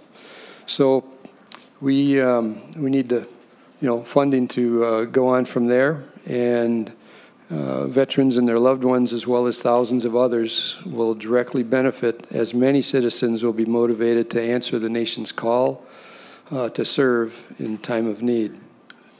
So, Madam Chair, I'd like to have uh, Mark Finneman is on our uh, committee. Um, there's a Representative Bob Dettmer was on our original committee also. We have a committee that has the uh, a City Hall person and the Forest Lake uh, Chamber and the VFW chaplain. I happen to be the American Legion chaplain, uh, a wide variety of people from the community. Um, So, Mark? Mr. Finneman, welcome Yes. to the committee. Please you. introduce yourself for the record. Mark Finneman. I was a, I was a Vietnam era veteran, so that, uh, since then I've been part of the Economic Development Authority of Forest Lake, and in doing so, I became very aware of our, in our studies for downtown and what would happen in the future and how to realize the potential. The idea of this memorial became a very big feature of this story. The memorial is directly downtown, uh, at the core of our downtown, the core of a major intersection, and it's entry to the primary entry to the um, Lakeside Memorial Park. The Memorial Park title is based on this memorial taking place. So it's for this memorial. We're just now starting to realize this memorial idea because we've formulated a design that we can really start to perpetuate and price and install and uh, fund for. So if you can look up at the screen or your, your computers, it is a um, formulated around a central sculpture. Uh, this is the primary uh, public art display of Forest Lake. There's not a better site for this to happen in. And that, uh, so we, we expect it to be a very strong sculpture. It's a central sculpture that's formulated on top of a pedestal to give it status. And then it's, um, let's see, this one? Yep. They're probably best seen from here. Uh, It's on the pedestal. The pedestal just gives it some strength and stature. It's like an, a rock outcropping in northern Minnesota with an old cypress tree, you know, extended out of it. And upon that cypress tree are a few eagles. They're well done realism in eagles. So there's an abstract nature to this in that it's sort of like a, a battle scene as well, where arising out of the stone is the the enduring tree, and the tree now has growth, new growth down at the base, and up where the remaining branches are will be these two really well done bronze sculptures of eagles in different orientations and trying to incorporate the whole park so there's no one view that it's taking. Everything around that is three raised platforms where we're going to get those pavers off the ground, get them up to a more prestigious level, about 16 inches off the ground, and into a nice confined architecture that's there. Uh, So we're providing those raised platforms in which the pavers will be set. And surrounding those, that raised platforms are six sentinels. The six sentinels are uh, sculptures that are each representing one of the services. And each will have a medallion of that service represented on it, as well as an opportunity to speak to information about that particular service. And they're all leaning in toward this central sculpture. Everything's leading into this round form. Um, all the sidewalks from the city park that are there, the ones you see surrounding it right now are truly just part of a park systems that there. We have flags that are already there. We're installing a new American flag in a very key location because one of these central areas you see to the right is got a kiosk where there'll be information installed in that kiosk. Uh, It's an open proposition, and when you open that up, there will be information inside, something to educate people with, something to talk about what the memorial's all about. And so this is our idea to settle in, and, and there could be all sorts of interactive things that we can incorporate in the future. We also have an independent soldier you see in far right as well, that is uh, standing there saluting the flag and facing the central sculpture as well.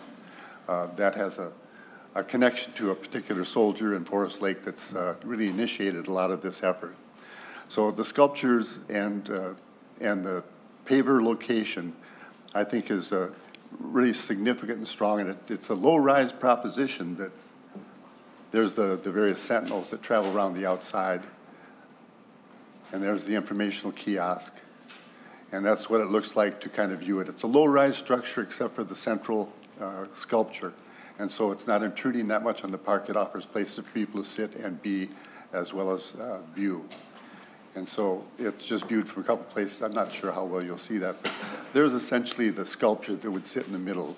We're expecting it to be a, a fairly fine art proposition, so we're trying to uh, ensure that it has the budget necessary to be something strong, a signature piece for the park, and a signature piece for the memorial and the, the memorial, memorizing the, uh, the veterans that have served. Uh, we have done run budgets on this to a certain extent on political on the uh, preliminary front, and so we have a sense of what it's going to cost to do this, and that's what we're coming forward to help us do some funding. Thank you very much for your testimony, Mr. Finneman. Senator Housley? Uh, Again, thank you, Madam Chair and members, for giving us the opportunity to be heard. Members, you. do you have questions for Madam Senator Chair. Housley? Uh, Senator Anderson? Thank you, Madam Chair. Senator uh, Housley, uh, uh, and you probably don't know the answer, but I was just wondering, do you know what the admit, what the Commissioner of Administration uh, will charge as far as an administrative fee for uh, giving you the, giving Forest Lake the grant for this? Usually there's an administrative fee that goes with it, and I was just talking, and just, some have 5%, some have 2%, some have 15. The last bill, I think there was 15% that was being equated for the Veterans Resilience Program. So just asking the question on, on the uh, fee that the state charges for you administrating the grant. And you probably don't know, but Madam Chair, Senator uh, Senator Anderson, let's, let's hope it's 2%. Thank you, Senator Housley. Are there other questions? Senator Gustafson? Thank you, Madam Chair. I just want, I, I'm in your neighboring district, um, to the Lino Lakes, Vadnais Heights, White Bear Lake area, but we, my kids play softball in your neck of the woods all the time. I think this is a beautiful place to have this. I think it's really, I had to look up where Lakeside Memorial Park is, but, um, yeah, right there by the lake is so pretty. And my husband and I are one of the, are those people that go to every one of these things and we read all the si- highway markers and, yeah, we're kind of like that. So I'm excited for this, and I just wanted to say thank you to Senator Housley for bringing this forward. Thank you. Senator Housley. Any other questions, members?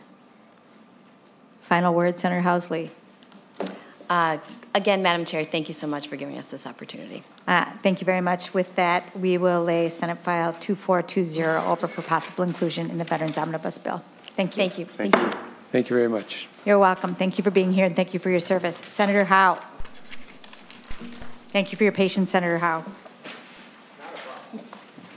We have two Howe bills back to back, Senate File 1290 and Senate File 2181. Do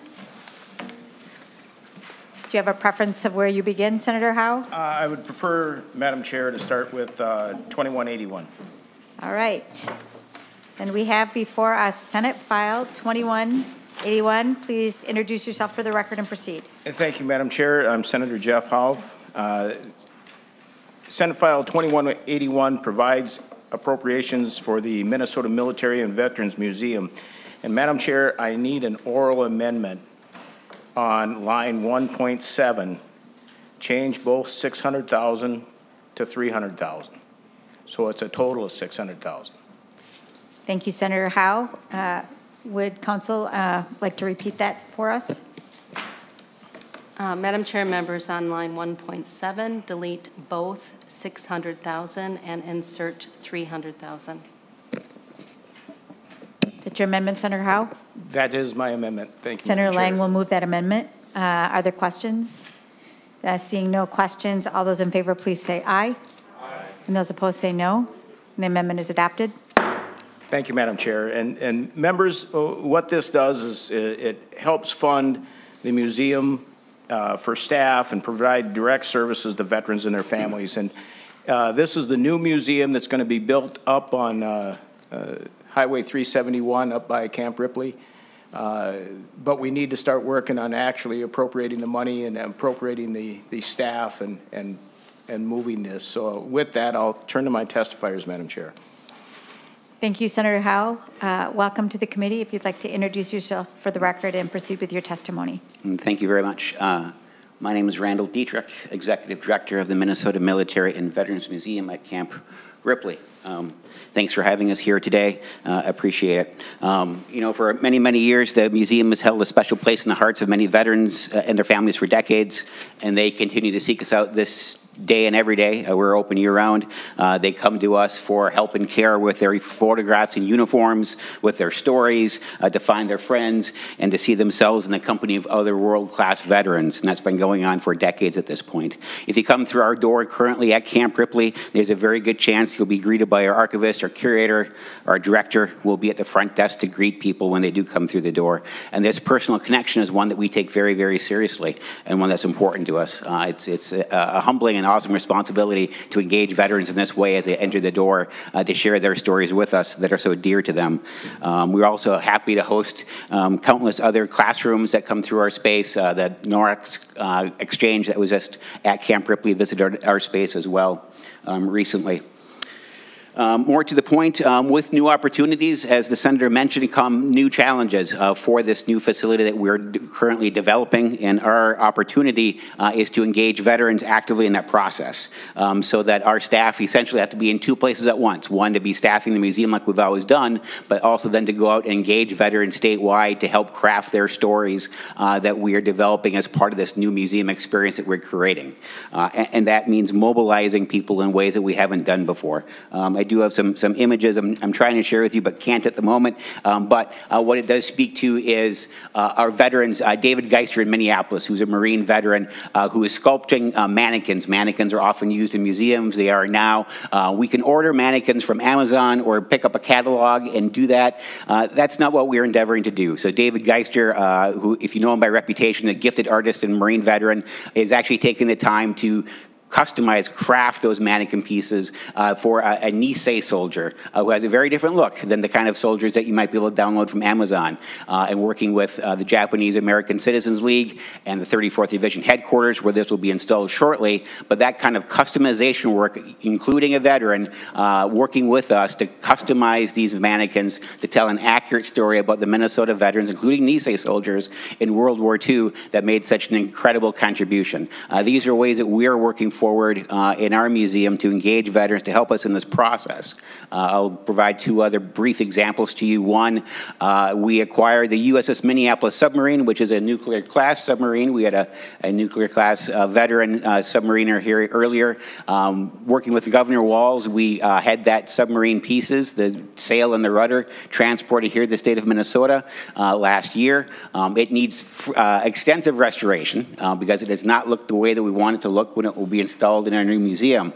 But to do that, uh, we want to engage veterans, veterans who know submarines, and there are no fewer than at least 111 submariners in Minnesota who have self-identified uh, as part of an association that wants to help this process. So another example of David Geister or um, the submarine group in Minnesota working together with us to develop uh, this new uh, experience that we're creating for this facility. Um, the last one I've identified for you, uh, a glider that we recovered from uh, a northern Minnesota barn. Uh, gliders are used in World War II as glider trainers prior to D-Day. Uh, we've re- uh, recovered that piece, we're restoring it, and now we're working with an organization in, in Hutchinson, which also is replete with veterans, preserving these pieces of history. So all these are examples of us working statewide with veterans out in the community while at the same time uh, maintaining the current um, level of support we have at our, our current space. Uh, These funds would allow us to do both at the same time, and I appreciate your, con- your, your consideration. Thank you very much. Members, are there questions for Senator Howe? I have just one question for you or for your testifier when I look at the language of the bill. Mm-hmm. As I listen to the testimony, this, the work that you're going to be doing with the veterans is around narrative, et cetera. Um, the language says provide direct services to veterans and their families, which seems fairly expansive. Mm-hmm.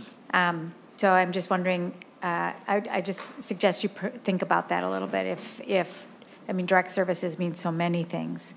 Um, and I don't know that you mean uh, like direct physical services to uh, veterans. Yes. Chairman, uh, yes, it would be a number of those things. One, conducting oral histories. Two, uh, providing assistance to them and caring for those uniforms. Like I mentioned, that that ongoing work is very important, as well as, uh, when available, uh, putting them kind of to work. Because when we talk about veteran resiliency, uh, having them have a hand in developing this new facility that we're uh, hopefully as the state of Minnesota committed to making happen, and thank you for that. Uh, it's a great opportunity for them to walk through this new space that we do envision in a couple years and see their work uh, hanging from the ceiling or, or on the parade ground. Thank you, Mr. Diedrich. Senator Howe. Uh, Thank you, Madam Chair. And I think uh, what I think a lot of people don't understand is one of the things, and one of the, one of the things that really helps veterans reintegrate into the society is actually being able to go to places like this, meet their other fellow soldiers there, have those events. So I think it is a, it's a real help to reintegrate our soldiers back into, into civilian life. Yeah, Senator Howe, I appreciate that. Senator Mitchell. Um, Thank you, Madam Chair. Um, I I'm- could be misremembering, but I don't think I am. Wasn't there some money for this in last week's bonding bill that didn't go through? Senator Howe. Yes, thank you, Madam Chair, and thank for the, thank you for the question, Senator Mitchell, but that is actually bonding money for the construction. This is actually money appropriation for the actual uh, hiring of staff and, and the actual uh, facility itself. So uh, this is actually providing the services and the, and the extra stuff that isn't incorporated into the bonding bill. So this is a separate appropriation. Senator Mitchell. So, but, so people, in- including yourself, voted against some of the money for the project, but now we're going to allocate money for staff? Is that, am I understanding that correctly? Senator Howe. Uh, Well, uh, and I will, if we want to have that discussion here, we can have that discussion here. I, I did, voted against that bill for, because I, I do believe we need to listen to all Minnesotans, which we are currently, I don't believe we are with that bonding bill. I still have bonding projects coming in, and there's some belief out there that we're going to have two bites at the apple, at two bonding bills. I personally think it's difficult enough to get one across the, the line. I don't believe we're going to get two bites of that apple. So I want to make sure that the, the communities that I have that don't, aren't represented in that bonding bill have an opportunity to get into that bonding bill. And actually, because there's sewer projects and water projects that are, I'm still getting requests for, I want to make sure that they're actually in that bonding bill. I think there's plenty of time before the end of session to vote for a bonding bill. I want one just as bad as anyone else. And this is my, this is, I'm a supportive of this project, but I want to see all the other communities that I represent get a fair shake also. Thank you, Senator Lang. Seeing no further questions, Senator Lang, uh, I will move to lay uh, Senate File 2181 over for possible inclusion in the Veterans Omnibus Bill. Thank you, Madam Chair. And next, Senate File 1290, and then we'll move to Senate File 1649. Senator Howe. Thank you, Madam Chair. And uh, Senate File uh, 1290, what this does is appropriate some money for, uh, for the post 9/11 veterans uh, bonuses. Uh, We already had some of this go on, but uh, we uh, came up a little uh, short on the appropriation. There's more veterans out there than, that have applied and received. Uh, So this actually appropriates uh, an additional funding to actually see that through and actually give money to, to everyone. I, I- I'm one of those that haven't applied yet. This, uh, not sure I'm going to, but uh, there's a lot of veterans out there that haven't been uh, compensated with their, with the appropriate bo- bonus. So I believe uh, I have a testifier by, from the Department of Veterans Affairs, Ben Johnson, if he wants to come and elaborate exactly to the numbers that uh, are appropriate. Thank you, Senator Howe. Mr. Ben Johnson, welcome to the committee. I believe this is one of a number of proposals dealing with this subject matter, um, Senator Howe. Um, So, Ben Johnson, please introduce yourself uh, for the record and proceed. Uh, Chair Murphy, members of the committee, my name is Ben Johnson. I'm the Legislative Director for the Minnesota Department of Veterans Affairs. And a, uh, a general fund increase of 22 million in FY '24 uh, in support of this initiative is included in the governor's recommended uh, uh, bill, which we heard um, just earlier today. Um, The goal in, in our uh, effort would be to make sure that all, all Minnesota's post 9/11 service members are, are able to receive this funding, um, adding additional money, and our goal was also to increase eligibility to make sure that it didn't matter where you started your service, so long as you're a current resident of the state of Minnesota and served during that, the 20-year time frame outlined, that you would be eligible to receive uh, this, this um, bonus. Uh, The other part that we're looking to do that's not included in this specific language would be adding that Inherent Resolve campaign medal, um, which takes care of some, uh, some, in particular Minnesota Guard members who deployed after the Iraq campaign medal was no longer eligible for them.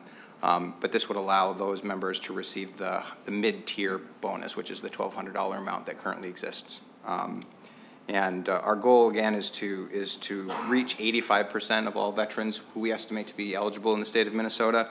Um, There are no hard numbers, but the VA estimate for, for current residents of that, of that generation are just under 50,000. Um, So I hope that answers the question, sir. Yeah, Thank you. Thank you. Members, are there questions? All right, then. Seeing no, ver- no further questions, we will, I will move delay seven, Senate- I will move uh, that Senate File 1290 be laid over for possible inclusion in the Veterans Omnibus Bill. Thank you, Madam Chair. Thank you very much for your testimony. Thank Thank you for being here and your patience. Thanks for the opportunity. Senator Lang. Senator Lang has a couple of bills before us today as well, 1649 and 2118. Let us know what you'd like to begin with, Senator Lang. Well, thank you, Madam Chair and the members. Um, I think we'll maybe go out of order from the, the test, with the testifier here today. Um, And I'll start with Senate File 2118. All right, we have Senate File 2118 before us. Senator Lang, So, proceed. Madam Chair, this is the best kind of uh, bill that we can talk about because it's only a paragraph long and it doesn't take much time. So with that, it's uh, $2 million uh, for veteran service organizations. This is something that uh, I've been working on for quite a few years. Uh, Been working on for quite a few years with uh, Senator Newton uh, in particular, and uh, a couple of reps from the House uh, that are no longer with us now. I mean, they're still with us, but they're not in the body, excuse me. They're in their Geez, body, They're, they're both going to give me grief body. about that. Uh, But uh, I, I think it's, it's a valid group. It's a, a group that really uh, uh, goes above and beyond kind of after the fact, uh, after deployments, after service. And, uh, you know, to be honest, there's a, there's a bunch of uh, veteran service organizations that mean a lot to the vets and the groups that they represent. So uh, with, without going too much more into that, uh, I'm trying to remember, I don't know if we've actually met. Rachel Hill, very nice to meet you.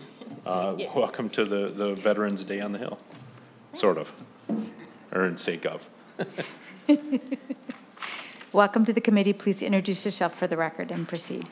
Thank you, Madam Chair.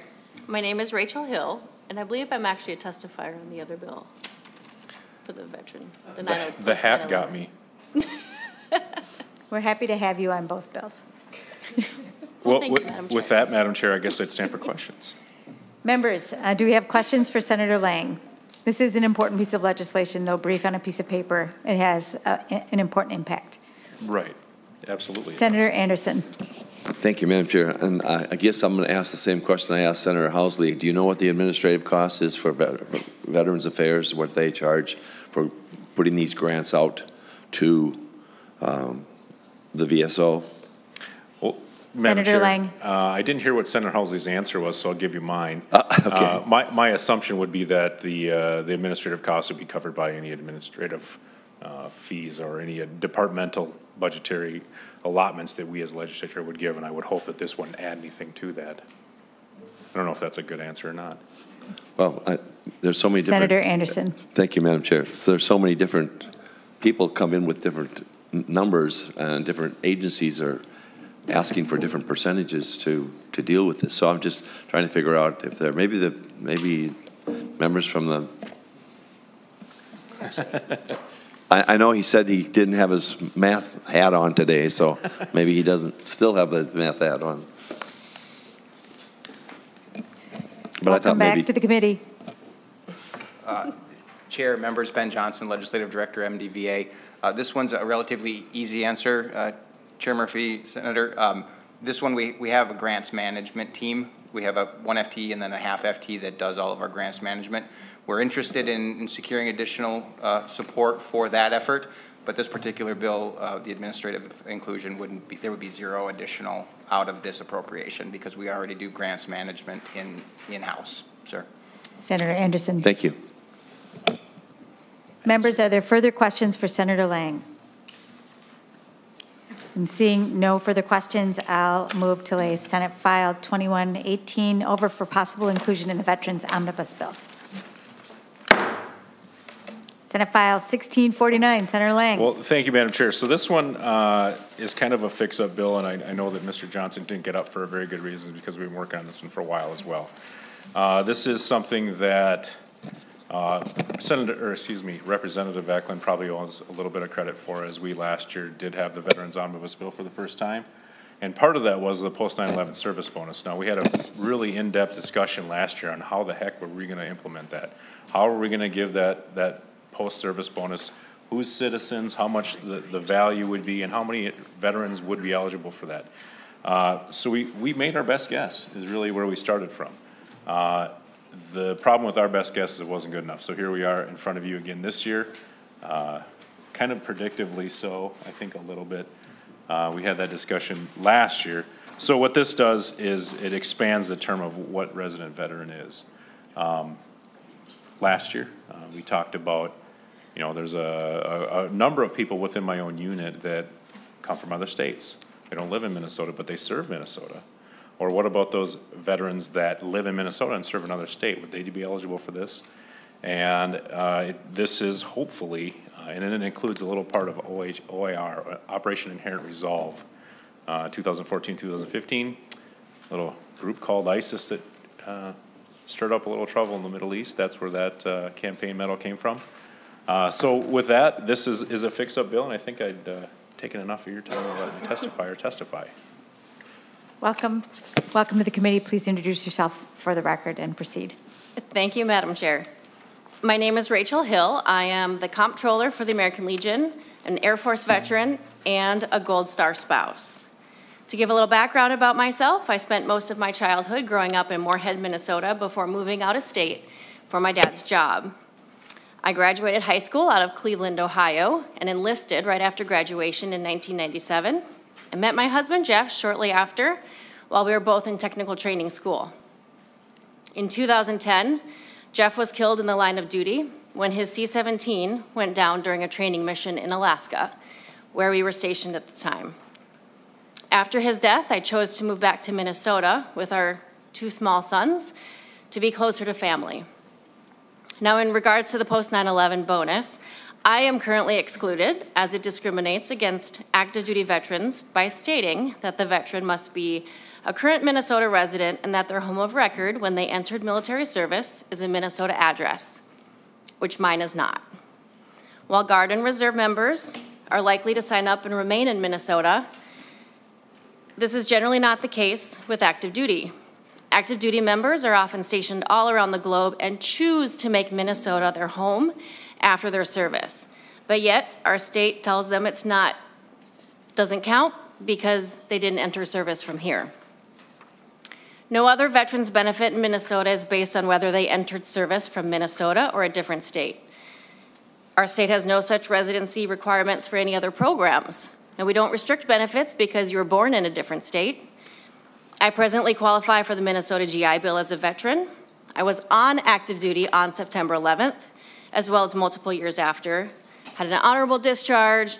I earned the Global War on Terrorism Medal, but yet I do not qualify for the post 9 11 bonus, simply because I enlisted out of Ohio, which, as an 18 year old kid, that was something completely out of my control.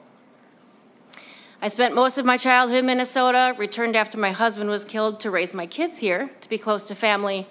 I pay taxes. I work to support Minnesota veterans. I volunteer in my community.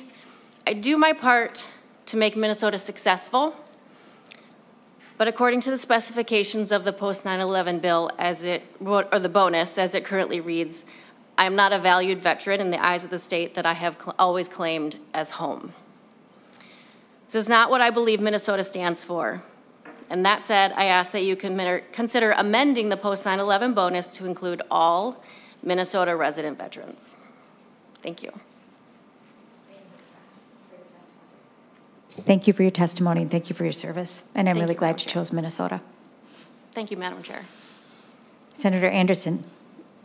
Thank you, Madam Chair. Um, Senator Lang, uh, or to your testifier, um, or testifiers, um, how many individuals are in this same situation as Ms. Hill? Senator Lang. Uh, Thank you, Madam Chair. And Senator Anderson, I don't know the answer to that question. Uh, That is, well, in, in the research leading up to this bill, and this is, granted, it was uh, rather haphazardly thrown together last year, I have to admit. I shouldn't say haphazardly, I said rapidly put together last year as we were uh, trying to get this bill passed, and I believe April of last year. I don't think we started on it. So that was the question that we had uh, proposed to the department. And to be honest, I don't know if you even have the statistics that, that could back up exactly what those look like until those folks started applying for the bonus. Is that accurate? That's correct. So we, we truly don't know. Senator Thank you. Anderson. Thank you. Mr. Johnson. Uh, Chair Murphy, uh, Senator Anderson, the only additional um, sort of context is that we have, we have already uh, issued, uh, I think it's like 19,000 bonus checks from between last July 1st and I think this was within the last two weeks. Uh, So we know that the, the delta is somewhere between that 20,000 mark and the potential 50,000 that are in the state. Um, And if we get to the 85% that the Commissioner Herke has, has identified as his target goal, that sort of sets up the parameters as best we can tell, sir. Senator Anderson. And, So, oh, go ahead. And maybe just a little add to that is that when you move to Minnesota, you don't, you don't testify to the fact that you're a veteran. That isn't something that's normally done in the natural scope of duty, I guess. So it is kind of an, uh, an unknown as far as the agency and as far as the legislature is concerned. Uh, The intent is never to exclude uh, an eligible veteran, but uh, obviously we, we did. Madam Chair. Senator Anderson. Mr. Johnson, uh, you said you've paid out 19,000, or 19,000 people have been paid a bonus, uh, and you're guessing upwards of 50,000 maybe, or, I'm just wondering if there have been inquiries to you or to the department re- regarding the same situation. Mr. Johnson. Uh, Chair Murphy, Senator Anderson, absolutely, and that's, that's why we're here today to support this bill. We, we are doing everything we can to do all the outreach. We have, I think the average amount of uh, bonus over the, over those 20,000 is about $1,700. So we have seen some that are, um, that are the 600 versus 1,200, either in-country or not in-country, and then the 2,000 that are available to Gold Star families.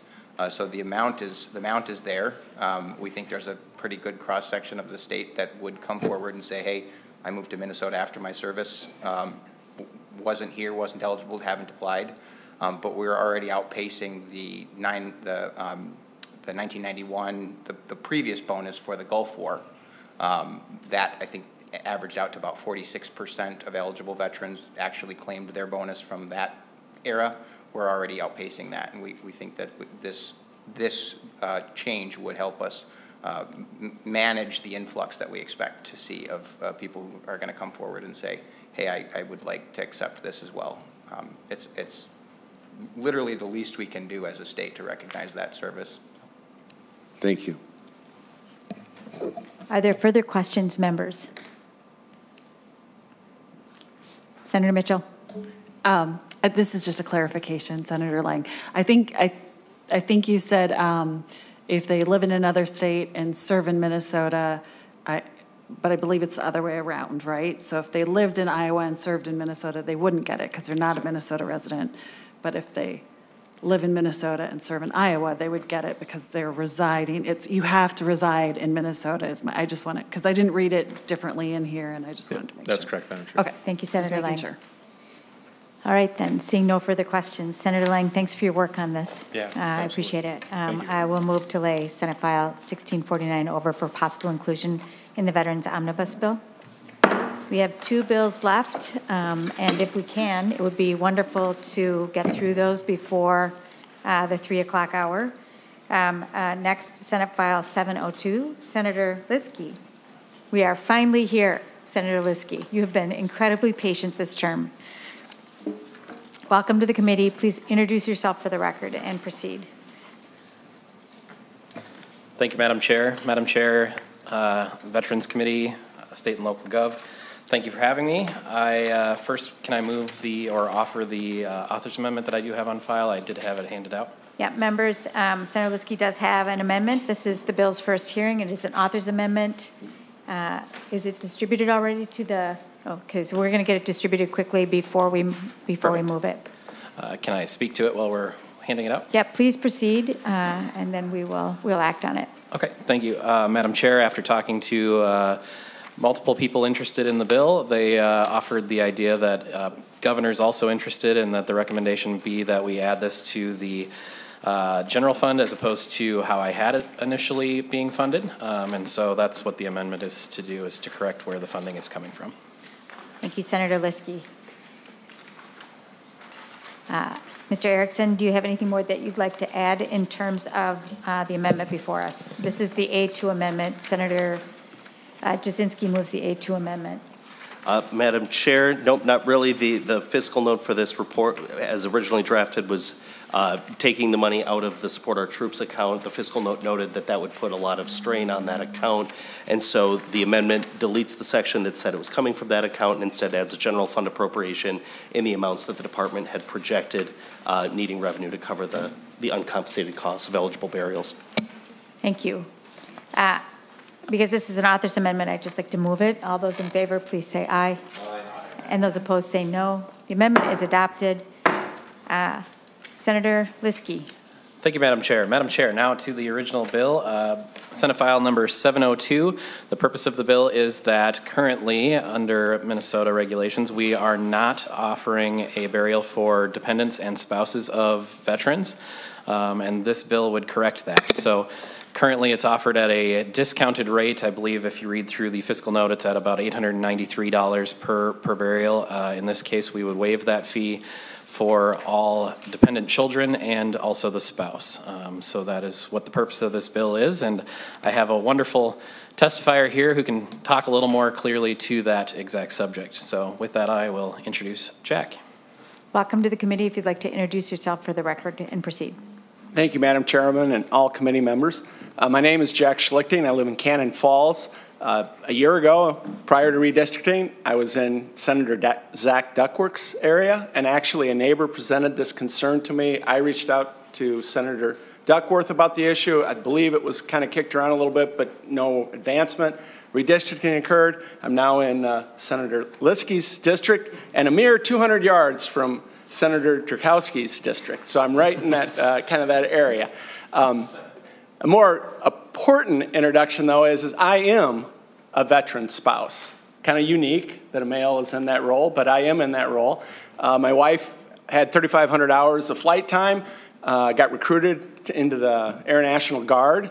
Uh, at the time, we were living in Tennessee. She went active, active, to, then transferred back to the Guard, flew C 130s for Tennessee, and then we moved to Alaska and she flew C 130s up there. Uh, family came in and, and et cetera, and we moved back to Minnesota or closer to my general home area. And, uh, and so I am a veteran. She was deployed.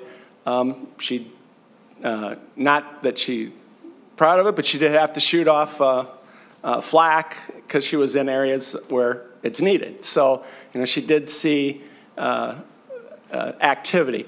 And my neighbor, who actually has a much longer career in the service, he was a CB, then transferred into um, the Air National Guard here in Minnesota, got deployed twice, uh, did see some pretty heavy activity.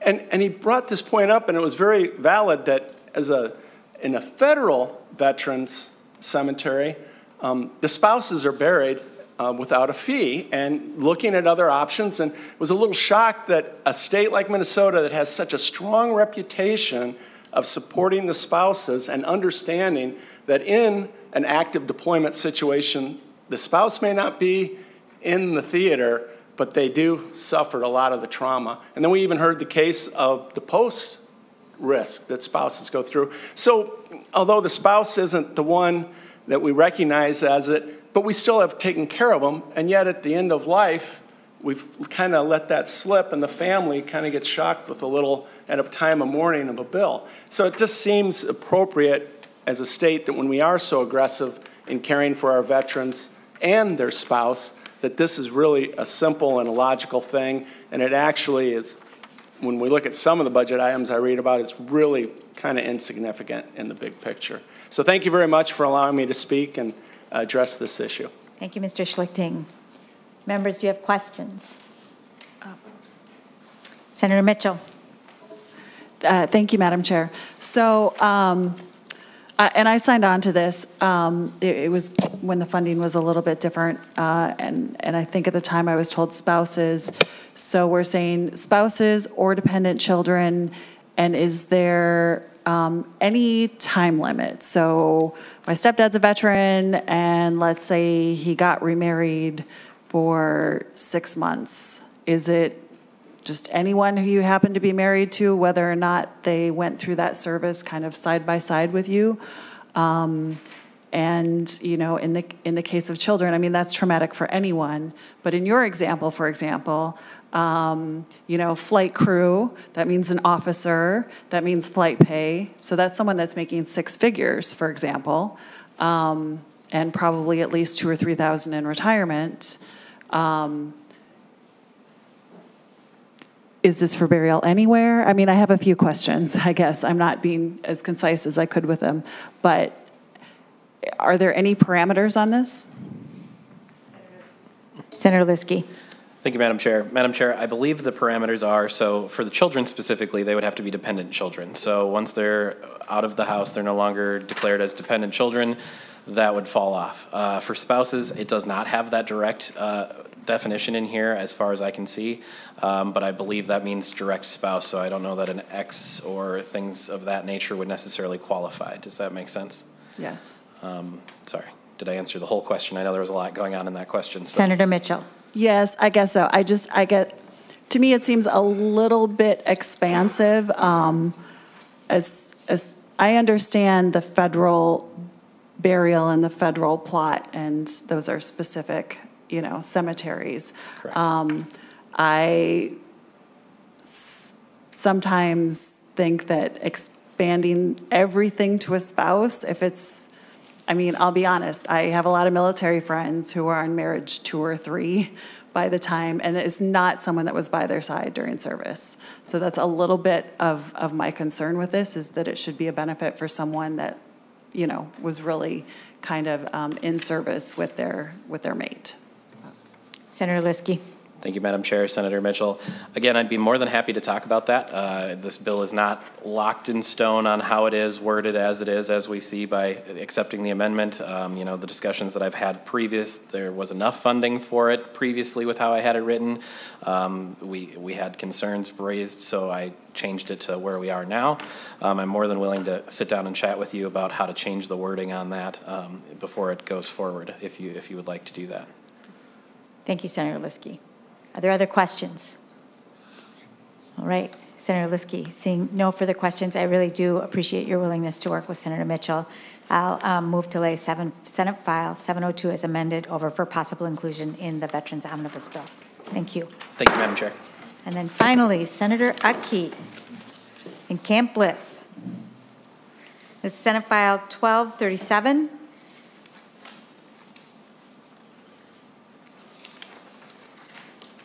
Welcome to the committee. When you're ready, please introduce yourself for the record and proceed on Senate File 1237. Thank you, Madam Chair and members. Um, I have before you today Senate File 1237, which um, I've got an oral amendment, and maybe, uh, Madam Chair, if I could give that to you so as members look at the uh, uh, bill while the testifiers are talking, they'll um, know what it's about. And the amendment is they removed one line, line 1.12, when it was heard in the other body. And that way, if we did it as an oral amendment, I just heard about it now, then at least the bills would line up 100%. So Senator, uh, Senator Bahr moves uh, the deletion of line 1.12. Uh, Council? Madam Chair and members, um, on page one, line nine, delete the colon. Line 10, delete the one. Line 11, delete the semicolon and, and insert a period. And on 1.12, delete that line. Members, uh, do you have any questions about this oral amendment? Seeing no questions, uh, Senator, Senator Bahr moves uh, the oral amendment to Senate File 1237. All those in favor, please say aye. Aye. Aye. And those opposed say no. And that is adopted. Senator Utke. Thank you. Um, Madam Chair and members, Senate File 1237 is for grants to a veterans retreat called Camp Bliss near Walker.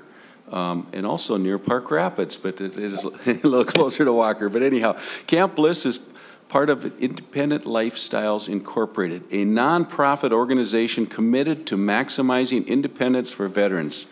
Founded in 1997, they have provided services to thousands of people throughout Minnesota. Retreats are available to veterans, law enforcement, and people with disabilities. And at this time, um, I would like to, uh, I've got a testifier here, but I believe you've got a video queued up with five quick, or, okay, it's starting right here. Um, if uh, we could play that, it's five quick little testimonies, and then we'll come to our live testimony.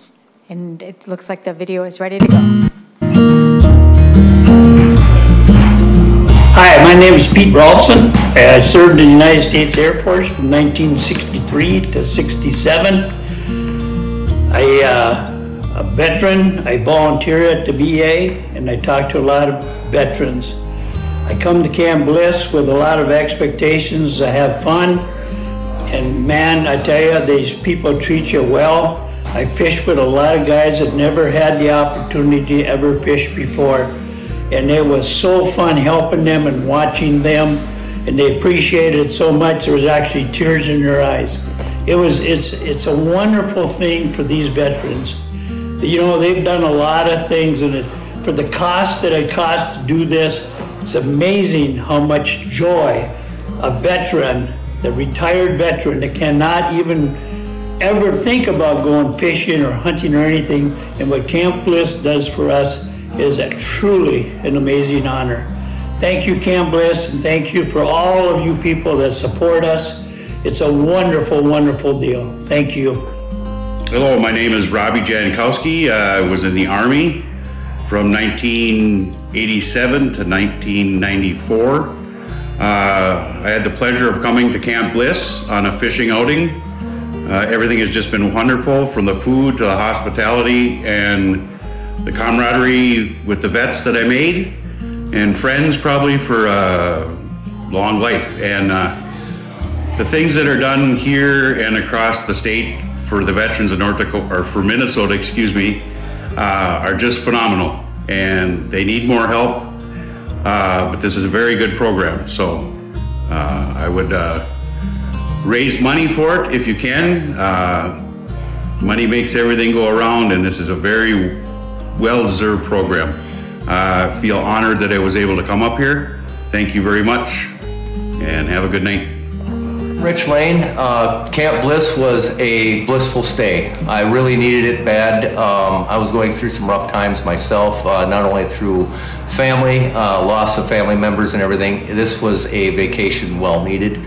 Um, thank you so much for helping other veterans uh, having the opportunity to do this. I uh, had three combat tours, uh, Kosovo, Afghanistan, and just got back from Africa in 2021. Um, I cannot say anything bad about this place. This place is well needed by a lot of vets, not only myself, but other other ones, as including um, your your Vietnam vets. I feel more connected with other vets now being here because you make long life friendship with those veterans. And uh, I've made four or five new veteran friends that uh, I will be keeping on my speed dial from here out. Thank you. Hi, my name is Brandon Treadwell. I served in the Minnesota Army National Guard. I've done one combat tour over in Africa. Uh, Camp Bliss this whole weekend has been absolutely wonderful. It was well needed. Um, since I've been struggling financially and stressful, it got my mind off of everything. I can just relax and feel comfort free of anything. Um, just a much needed time. Connected with so many veterans here. I met probably four or five more that I shared similar experiences with. And overall, it's just a much needed thing for me. Uh, Hi, uh, my name is Alan Tate. I'm a uh, medically retired Marine. Uh, I've been out of the Marine Corps for quite a while, but it's still incredible to get together with other vets and just the sense of camaraderie we get by getting together and talking about stuff that only vets understand. And then to have people like this that come and uh, come and help us out and, and go so far above and beyond for us is incredible. So I would, I would, as a taxpayer and voter, heavy, heavy voter, I would really like to see my Minnesota government, federal government, everything support groups like this and these people especially because what they've done for us this weekend, I cannot say enough about. This is the most incredible thing I've done in a very long time. And uh, you know, just God bless these people for doing this. And I would really like, uh, again, to say, I love you people to uh, support these people and give them what they need because they need it. Thank you. And uh, Madam Chair, if you'd recognize uh, Ms. Ruff next to me, she is the Executive Director, and she'd like to tell you a little bit more about Camp Bliss. Welcome to the committee, Ms. Ruff. Please proceed, introduce yourself and proceed with your testimony. Thank you, Madam Chair, members. I'm Kara Ruff, Executive Director of Independent Lifestyles and Camp Bliss, and I'm here to urge your support of Senate File 1237, which is a bipartisan bill for our veterans. I'm here today because our veterans in Minnesota are in crisis truly in crisis, and a community-based, effective, and efficient approach is what's needed. Veterans in Minnesota are not getting the support, resources, or assistance they need to thrive during or after deployment. I urge the Minnesota State Legislature to fund Camp Bliss so that we can continue to provide the wellness and therapeutic experiences that provide lasting changes, have saved marriages, create wellness and resiliency, and provide for the social networks that veterans need to thrive so that crises can be avoided. What hundreds of veterans have told me over the past few years is that they need more community-based services. They need opportunities to express their deepest grief where it will not be added to their service chart.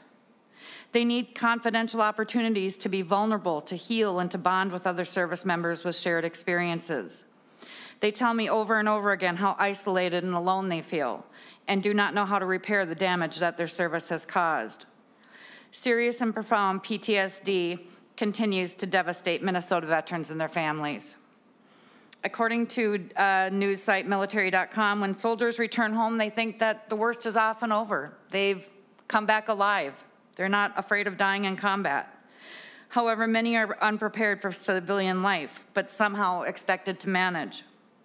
At a recent uh, retreat, one of our veterans broke down in tears and was able to show heartfelt grief and emotion for the first time in 30 years. And, and his wife told me that it was the breakthrough they had hoped for for the past 30 years. But another veteran present said it best. He said, The military teaches us how to live in the uniform, but we're left on our own with no idea how to cope once the uniform comes off. The reality, however, is much more complicated and alarming. As you heard previous testifiers, um, more veterans committed suicide between 2008 and 17 than the number of U.S. soldiers that died in the entire Vietnam War.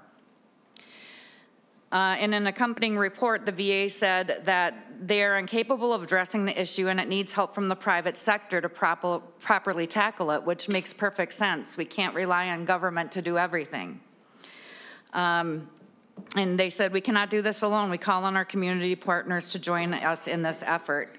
And Camp Bliss is here to answer that call to action. Since 2015, we've served nearly 500 veterans and their families.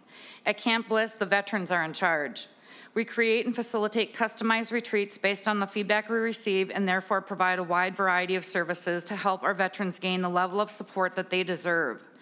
The array of services includes uh, PTSD, Gold Star families, veterans and spouses, military sexual trauma, suicide prevention, caregivers, and much, much more. The wellness retreats for our female veterans have also exploded as the female veteran population is significantly overlooked and underserved. With just $150,000 in funding, we can serve approximately 150 to 170 veterans and their families with these life-changing experiences every year. We conduct pre and post evaluations to monitor health and well-being and gather that feedback at every opportunity. We are accountable. We created Camp Bliss with no direct funding for veteran services. We did it because not doing it would be an outrage. It was and is the right thing to do. We urgently ask for Minnesota to invest in what is truly working in our communities, what is cost effective, what prevents exploding medical and mental health costs, and allows our Minnesota veterans to live with dignity, respect, and the support that they desperately need. Thank you for hearing us today, Madam Chair and members. Uh, we respectfully ask for your support in funding House File 1237. Thank you so much for your testimony, Ms. Ruff. Mr. Seifert, welcome to the committee. Madam Chair, I'm not real sure that I have anything else to say other than I work with these folks. And it's good to see my former colleagues here trying to do the Lord's work and the devil's workshop at the Capitol. So thank you so much for being so patient with us. And this is a wonderful program. And um, if any of you know anyone who has gone through this program, it, it is life-changing and it, it's very needed. We were funded in the last budget, but just uh, with one-time money, so we're back here again. Thank you. Members, are there questions for Senator Utke? Senator Utke, you've got the last word. Oh, thank you, Madam Chair and members. Uh, just, I know that I think the, the path is, uh, as I saw in previous, you'll lay them over for possible inclusion. We appreciate that, and hopefully uh, we can rise to the top and uh, be part of your bill at the end because uh, for a little bit of money, they do wonderful things for our veterans, and uh, that in the end is what it's about. So thank you. Thank you, um, Senator Utke, and uh, to your testifiers for your important work somewhere between Walker and Park Rapids. Um, with that, I will move Senate File 1237 as amended be laid over for possible inclusion in the Veterans Omnibus Bill. Thank you for that.